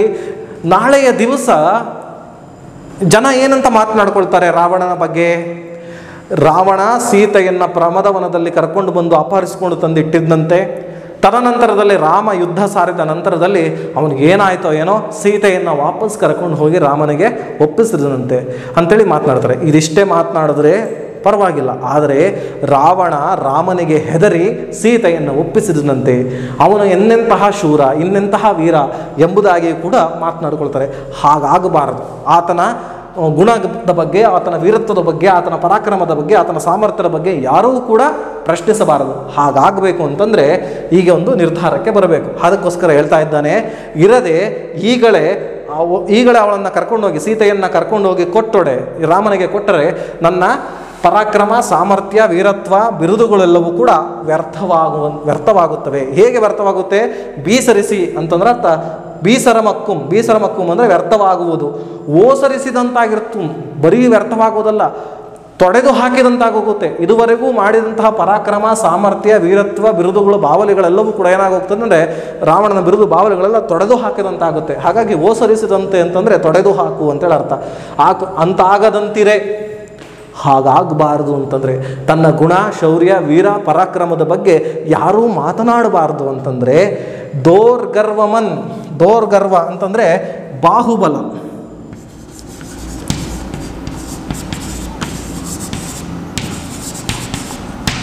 ಬಾಹುಬಲ, ಭುಜಬಲ. ಯಾರ ಭುಜಬಲ? ರಾವಣನ ಬಹುಬಲ, ಭುಜಬಲ. ದೋರ್ಗರ್ವಮಂ, ಇರ್ವಲಂ. ಇರ್ವಲಂ ಅಂತಂದರೆ ಎರಡು ಕಡೆಯವರು. ಯಾರು ಎರಡು ಕಡೆಯವರು? ರಾಮನ ಸೈನ್ಯದವರು, ರಾಮ ಲಕ್ಷ್ಮಣನ ಸೇರಿದಂತೆ ರಾಮನ ಸೈನ್ಯ ಹಾಗೂ ಲಕ್ಷ್ಮಣನ ಸೈನ್ಯ. ಎರಡೂ ಸೈನ್ಯದವರು ಬಾಹುಬಲವನ್ನು ನೋಡಬೇಕು. ಯಾರು ಬಾಹುಬಲ? ರಾವಣನ ಬಾಹುಬಲವನ್ನು ನೋಡಬೇಕು. ದೋರ್ ಗರ್ವಮನ್, ಇರ್ವಲಂ, ಪೊಗಳುವನಂ. ಪೊಗಳು ಅಂತಂದರೆ ಹೊಗಳು. ಪೊಗಳು ಅಂತಂದರೆ ಹೊಗಳು.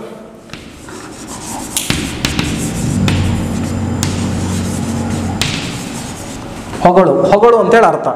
ತನ್ನ ಭುಜಬಲವನ್ನು, ರಾವಣನ ಭುಜಬಲವನ್ನು ಎರಡೂ ಸೈನ್ಯದವರು, ರಾಮನ ಸೈನ್ಯ ಹಾಗೂ ರಾವಣನ ಸೈನ್ಯದವರು ಕೂಡ ರಾವಣನ ಭುಜಬಲವನ್ನು ನೋಡಿ ಹೊಗಳಬೇಕು. ಎಂತಹ ಪರಾಕ್ರಮೀತ ರಾವಣ ಅಂತೇಳಿ ಆ ರೀತಿಯಲ್ಲಿ ಯುದ್ಧ ಮಾಡ್ತೀನಿ. ಯಾರ ನಡುವೆ? ರಾಮ ಮತ್ತು ಲಕ್ಷ್ಮಣರ ನಡುವೆ ರಾವಣ, ನಾನು ಯುದ್ಧ ಮಾಡ್ತೇನೆ. ಹೇಗೆ ಯುದ್ಧ ಮಾಡ್ತೀನಿ ಅಂದರೆ ನನ್ನ ಭುಜಬಲವನ್ನು ನೋಡಿ ಎರಡೂ ಸೈನ್ಯದವರು ಹೊಗಳಬೇಕು. ಆ ರೀತಿಯಲ್ಲಿ ಯುದ್ಧ ಮಾಡಿ, ಯುದ್ಧದಲ್ಲಿ ಸೌಮಿತ್ರಿಯಂ ರಾಮನಂ ವಿರಥರ್ ಮಾಡಿ. ವಿರಥರು ಅಂತಂದರೆ ರಥಹೀನರು ಅಂತೇಳಿ ಅರ್ಥ. ವಿರಥ. ರಥಹೀನರು. ರಥಹೀನರು ಅಂತಂದರೆ ಸೋಲಿಸೋದು ಅವರನ್ನು. ಅವರಿಬ್ಬರನ್ನು ಸೋಲಿಸಿ ರಥ ಇಲ್ಲದಂತೆ ಮಾಡಿದ್ರೆ, ರಥದಿಂದ ಕೆಳಗಿಳಿದ್ರೆ ಸುತ ಹಾಗೆ. ಹಾಗಾಗಿ ರಥವಿಲ್ಲದಂತೆ ಮಾಡಿ ರಣಾಗ್ರದೊಳು, ರಣ ಅಂತಂದರೆ ರಣರಂಗ. ರಣರಂಗದಲ್ಲಿ ಅವರಿಬ್ಬರನ್ನು ಕೂಡ ಸೋಲಿಸಿ ಅವರನ್ನು ಹಿಡಿದು ತಂದು, ಯಾರನ್ನು ಹಿಡಿದು ತಂದು? ರಾಮ ಮತ್ತು ಲಕ್ಷ್ಮಣರನ್ನು ಹಿಡಿದು ತಂದು ಆನಂತರದಲ್ಲಿ ಅವರಿಬ್ಬರನ್ನು ತನ್ನ ಸರೆಯಾಳನ್ನಾಗಿ ಮಾಡಿಕೊಂಡು ಅವರಿಬ್ಬರನ್ನ ಸೋಲಿಸಿ ನಂತರ ಸೀತೆಯನ್ನು ಅವರಿಗೆ ಒಪ್ಪಿಸ್ತೀನಿ ಅಂಥೇಳಿ ತೀರ್ಮಾನ ಮಾಡ್ತಾನೆ. ಕೊಟ್ಟಪೆಂ ಸೀತೆಯಂ ಅಂಥೇಳಿ ತೀರ್ಮಾನವನ್ನು ಮಾಡ್ತಾನೆ. ನೋಡಿ, ಈ ಎರಡು ಸಾಲುಗಳಿಗೂ, ಈ ಎರಡು ಸಾಲುಗಳಿಗೂ ನಾವು ಗಮನಿಸೋದಾದರೆ ರಾವಣನಲ್ಲಿರ್ತಕ್ಕಂತಹ ಒಂದು ಕರುಣ, ಕರುಣೆ, ಅವನ ಆಲೋಚನೆಗಳು, ಜೊತೆಗೆ ಅವನಲ್ಲಿರುವಂತಹ ಪರಾಕ್ರಮ ಹಾಳಾಗಬಾರ್ದು ಅಂತೇಳಿ ಮಾಡುವ ಆಲೋಚನೆಯು ಕೂಡ ನಮಗೆ ಗೋಚರವಾಗುವಂಥದ್ದು. ಸುಮ್ಮನಿರದೆ ಆ ಸೀತೆಯನ್ನು ಹೊತ್ತುಕೊಂಡು ಹೋಗಿ ರಾಮನಿಗೆ ಕೊಟ್ಟರೆ ತನ್ನ ಪರಾಕ್ರಮ, ವೀರತ್ವ, ಶೌರ್ಯ, ಬಿರುದುಗಳು ಎಲ್ಲವೂ ಏನಾಗ್ತದೆ ಅಂತಂದರೆ ವ್ಯರ್ಥವಾಗಿ ತೊಡೆದು ಹಾಕಿದಂತಾಗೋಗುತ್ತೆ. ಹಾಗಾಗಬಾರ್ದು ಅಂತಂದರೆ ಯುದ್ಧದಲ್ಲಿ ಎರಡೂ ಕಡೆಯವರು, ಎರಡೂ ಸೈನ್ಯದವರು ನನ್ನ ಭುಜಬಲವನ್ನು ನೋಡಿ ಆಶ್ಚರ್ಯಚಕಿತರಾಗಬೇಕು. ಅಂದ್ ಹಾಗೆ ಯುದ್ಧವನ್ನು ಮಾಡ್ತೀನಿ ಹೊಗಳುವಂತಾಗಬೇಕು. ಹಾಗೆ ಯುದ್ಧವನ್ನು ನಾನು ಮಾಡ್ತೀನಿ. ಆ ಯುದ್ಧದಲ್ಲಿ ರಾಮನನ್ನು ಸೌಮಿತ್ರಿ ಅಂತಂದರೆ ಲಕ್ಷ್ಮಣ, ಸುಮಿತ್ರೆಯ ಮಗ ಸೌಮಿತ್ರಿ. ಸೌ, ರಾಮನನ್ನು ಮತ್ತು ಲಕ್ಷ್ಮಣನನ್ನು ವಿರಥರನ್ನಾಗಿ ಮಾಡಿ, ರಥಹೀನರನ್ನಾಗಿ ಮಾಡಿ ರಣರಂಗದಲ್ಲಿ ಅವರನ್ನು ಹಿಡಿದು ತರ್ತೇನೆ ತಂದು ನಂತರದಲ್ಲಿ ಸೀತೆಯನ್ನು ಕೊಡುತ್ತೇನೆ ಅಂಥೇಳಿ ತೀರ್ಮಾನವನ್ನು ಮಾಡ್ತಾರೆ. ಆ ರೀತಿಯಲ್ಲಿ ಸೀತೆಯನ್ನು ಕೊಟ್ಟರೆ ಏನಾಗುತ್ತೆ? ನಮ್ಮ ಆಲೋಚನೆಗೆ ಬರೋದಾದರೆ, ರಾವಣ ಸೀತೆಯನ್ನು ಹೊತ್ತು ತಂದಿದ್ದಂತೆ ಹೆದರ್ಕೊಂಡು ವಾಪಸ್ ಕೊಟ್ಟ ಅಂತೇಳಿ, ವಾಪಸ್ ಕಳಿಸ್ಕೊಟ್ಟ ಅಂತೇಳಿ ಯಾರೂ ಮಾತನಾಡೋದಿಲ್ಲ. ಬದಲಿಗೆ ರಾವಣ ಸೀತೆಯನ್ನು ಹೊತ್ತು ತಂದಿದ್ದಂತೆ ರಾಮನ ರಾಮನ ಹೆಂಡತಿಯವಳು, ಆ ನಂತರದಲ್ಲಿ ಅವರಿಗೂ ಆ ರಾಮನ ನಡುವೆ ಯುದ್ಧ ಮಾಡಿ ರಾಮನನ್ನೇ ಗೆದ್ದು ಗೆದ್ದಂತಹ ಸೀತೆ ಇವನ ವಶವಾಗಿದ್ದರೂ ಕೂಡ, ರಾವಣನ ವಶವಾಗಿದ್ದರೂ ಕೂಡ ರಾಮನಿಗೆ ಬಿಟ್ಟು ಕೊಟ್ಟ ಅಂಥೇಳಿ ಇಡೀ ಜಗತ್ತು ಮಾತನಾಡುತ್ತೆ. ಆಗ ಅವನ ಪರಾಕ್ರಮಗಳಿಗೆ, ಸಾಮರ್ಥ್ಯಕ್ಕೆ, ವೀರತ್ವಕ್ಕೆ, ಬಿರುದು, ಬಿರುದುಗಳಿಗೆ, ಅವನ ವ್ಯಕ್ತಿತ್ವಕ್ಕೆ ಯಾವುದೇ ಧಕ್ಕೆ ಬರುವುದಿಲ್ಲ ಅಂಥೇಳಿ ಅವನ ಮನಸ್ಸಿನಲ್ಲೇ ಆಲೋಚನೆಯನ್ನು ಮಾಡ್ತಾನೆ. ಆಲೋಚನೆಯನ್ನು ಮಾಡಿ ಎಂದು ನಿಶ್ಚಯಿಸಿ ನಿಜ ನಿವಾಸಕ್ಕೆ ಒಂದು ಪ್ರಮದವನದಲ್ಲಿದ್ದಂತಹ ರಾವಣ ಈ ರೀತಿಯಾಗಿ ಒಂದು ನಿರ್ಧಾರವನ್ನು ಮಾಡಿ, ಕಡೆಯದಾಗಿ ನಿರ್ಧಾರವನ್ನು ಮಾಡಿ ನಿಶ್ಚಯಿಸಿ ತನ್ನ ಅರಮನೆಗೆ ನಿಜ ನಿವಾಸಕ್ಕೆ ಅಂದರೆ ಅರಮನೆಗೆ ಬರ್ತಾನೆ. ಇಲ್ಲಿ ನಾವು ಗಮನಿಸುವಂತಹ ಸಂಗತಿ ಏನಂತಂದರೆ ರಾವಣನ ವ್ಯಕ್ತಿತ್ವ. ನೋಡಿ ರಾವಣ ಶೂ, ಶೌರತ್ವಕ್ಕೆ, ವೀರತ್ವಕ್ಕೆ ಎಲ್ಲೂ ರಾಜಿ ಮಾಡಿಕೊಳ್ಳೋದಿಲ್ಲ. ಬದಲಿಗೆ ಸೀತೆಯನ್ನು ಅರಿವಿನ ಕೇಡು ಬಂದಾಗ ಸೀತೆಯನ್ನು ಹೊತ್ತು ತಂದಿದ. ಈಗ ಅವನಿಗೆ ನಿಜವಾದ ಮನಸ್ಥಿತಿ ಅರಿವಾದಾಗ ಸೀತೆಯನ್ನು ವಾಪಸ್ ಕೊಡುವಂತಹ ಒಂದು ನಿರ್ಧಾರಕ್ಕೆ, ವಾಪಸ್ ಕಳಿಸಿ ಕೊಡುವಂತಹ ನಿರ್ಧಾರಕ್ಕೆ ರಾವಣ ಬಂದಿದ್ದಾನೆ. ಅದನ್ನು ನಾವಿಲ್ಲಿ ಗಮ, ಒಟ್ಟಾರೆಯಾಗಿ ಕದಡಿದ ಸಲಿಲಂ ತಿಳಿವಂದದೆ ಪದ್ಯಭಾಗವನ್ನು ನಾವು ಗಮನಿಸಿದಾಗ ರಾವಣನ ಪಾತ್ರವನ್ನು ನಾವು ಇಲ್ಲಿ ದುರಂತ ನಾಯಕನನ್ನ, ನಾಯಕನಾಗಿ ನೋಡಬಹುದು. ಅಂದರೆ ವಿಧಿ ವಿಳಸನಕ್ಕೆ ಒಳಗಾಗಿ ರಾವಣ ಮಾಡಿದಂತಹ ಒಂದು ತಪ್ಪು ಅವನ ಇಡೀ ವ್ಯಕ್ತಿತ್ವವನ್ನೇ ನಾಶ ಮಾಡಿದಂಥ ಸನ್ನಿವೇಶವನ್ನು ನಾವಿಲ್ಲಿ ಗಮನಿಸ್ಬೋದು. ಹಾಗೂ ಒಬ್ಬ ವ್ಯಕ್ತಿ ಒಂದು ಕಾಲಘಟ್ಟಕ್ಕೆ ಅತ್ಯಂತ ಒಳ್ಳೆಯವನಾಗಿದ್ದು, ಸದ್ಗುಣ ಪ್ರಸೂತನಾಗಿದ್ದು ಇದ್ದಂಥವನು ತದನಂತರದ ಕಾಲಘಟ್ಟದಲ್ಲಿ ಕೆಲವೊಂದು ದುಷ್ ಚಟಗಳಿಂದ ಕೆಟ್ಟ ಕೆಲಸಗಳಿಂದ ಆ ರಾವಣ ಮಾಡಿದಂತಹ ಕೆಟ್ಟ ಕೆಲಸಗಳಿಂದ ಅಧೋಗತಿಗಿಳಿದಂತಹ ಸನ್ನಿವೇಶವನ್ನು ಕೂಡ ಕಾಣಬಹುದು. ಹಾಗೆ ಅಧೋಗತಿಗಿಳಿದಂತಹವನು ಮತ್ತೆ ಎತ್ತರದ ಸ್ಥಾನಕ್ಕೆ ಏರುವಂತಹ ಸನ್ನಿವೇಶವನ್ನು ಕೂಡ ನಾಗಚಂದ್ರ ತನ್ನ ರಾಮಚಂದ್ರ ಚರಿತ ಪುರಾಣಂ ಕಾವ್ಯದಲ್ಲಿ ಅದರಲ್ಲೂ ರಾವಣನ ಪಾತ್ರದಲ್ಲಿ ಗೋಚರಿಸ್ತಾನೆ. ಹಾಗಾಗಿ ಕುವೆಂಪು ಅವರು ಕಡೆಯಲ್ಲಿ, ಪಥ್ಯದ ಕಡೆಯಲ್ಲಿ ಹೇಳ್ತಾರೆ, ಪಾಪಿ ಗುದ್ದಾರ ಮೆಹುದು ಸೃಷ್ಟಿಯ ಬೃಹದ್ ವ್ಯೂಹ ಅಂತ ಹೇಳಿ ಹಾಗಾಗಿ ಪಾಪಿಗಳು ಅಂದರೆ ಕೆಟ್ಟ ಕೆಟ್ಟ ಕೆಲಸವನ್ನು ಮಾಡಿದವರಿಗೂ ಕೂಡ ಒಂದು ಒಳ್ಳೆಯ ಅವಕಾಶವಿದೆ, ಒಳ್ಳೆಯವರಾಗಲಿಕ್ಕೆ. ಹಾಗಾಗಿ ರಾವಣ ರಾವಣನ ಮನಸ್ಥಿತಿಯೂ ಕೂಡ ಅಂಥದ್ದೇ ಆಗಿತ್ತು ಎಂಬುದನ್ನು ನಾಗಚಂದ್ರನ ಕೃತಿಯ ರಾಮಚಂದ್ರ ಚರಿತ ಪುರಾಣಂನಲ್ಲಿ ನಾವು ಗಮನಿಸಬಹುದಾಗಿದೆ.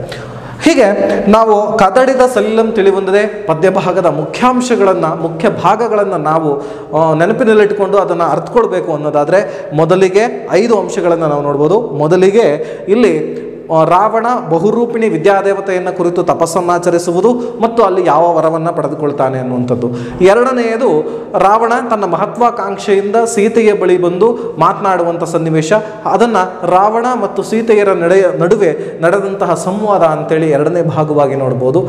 ನಂತರದಲ್ಲಿ ಸೀತೆ ಮೂರ್ಛಿತಗೊಂಡ ನಂತರ ರಾವಣನ ಮನಃಪರಿವರ್ತನೆ ಆದಂತಹ ಸನ್ನಿವೇಶನವನ್ನು ಮೂರನೇ ಭಾಗವಾಗಿ ನೋಡ್ಬೋದು. ನಂತರದಲ್ಲಿ ರಾವಣನ ಒಳಗಡೆ ಆದಂತಹ ಮನಃಪರಿವರ್ತನೆಯಿಂದ ತಾನು ಪಶ್ಚಾತ್ತಾಪವನ್ನು ಪಡ್ತಾನೆ ರಾವಣ. ಹಾಗಾಗಿ ಆ ರಾವಣನ ಪಶ್ಚಾತ್ತಾಪದ ನುಡಿಗಳು ಏನು ಎಂಬುದನ್ನು ಒಂದು ನಾಲ್ಕನೇ ಭಾಗವಾಗಿ ಹಾಗೂ ಕಡೆಯ ಭಾಗವಾಗಿ ರಾವಣ ತನಗೆ ಕಟ್ಟ ಕಡೆಯದಾಗಿ ಯಾವ ನಿರ್ಧಾರಕ್ಕೆ ಬರ್ತಾನೆ ಎಂಬ ಈ ಪದ್ಯದ ಏನು ನಿರ್ಧಾರ ಇದೆ? ಈ ಪದ್ಯದ ನಿರ್ಧಾರಕ್ಕೆ ಬರ್ತಾನೆ ಅನ್ನುವಂಥದ್ದನ್ನು ಇಲ್ಲಿ ನಾವು ಒಟ್ಟಾರೆಯಾಗಿ ಗಮನಿಸಬಹುದು. ಹೀಗೆ ನಾವು ಒಂದು ಪದ್ಯ ಭಾಗವನ್ನು ಒಂದೊಂದು ಘಟ್ಟವಾಗಿಸಿಕೊಂಡು ಓದಿ ಅರ್ಥೈಸಿಕೊಂಡು ನಾವು ಪಠ್ಯವನ್ನು ಅರ್ಥ ಮಾಡಿಕೊಳ್ಬೇಕಾಗಿದೆ. ಹಾಗಾಗಿ ಎಲ್ಲರೂ ಕೂಡ ಈ ಕದಡಿದ ಸಲೀಲಂ ತಿಳಿಬಂದದೆ ಎಂಬ ಪದ್ಯಭಾಗ ಪರೀಕ್ಷಾ ದೃಷ್ಟಿಯಿಂದಲೂ ಕೂಡ ಭಾವಾರ್ಥಕ್ಕೆ, ಸಂದರ್ಭಕ್ಕೆ ಹಾಗೂ ದೀರ್ಘ ಉತ್ತರಗಳಿಗೆ ಅತ್ಯಂತ ಹೆಚ್ಚು ಪ್ರಶ್ನೆಗಳು ಬರುವುದರಿಂದ ಈ ಪದ್ಯ ಅತ್ಯಂತ ಮುಖ್ಯವಾದ ಪದ್ಯವಾಗಿದೆ.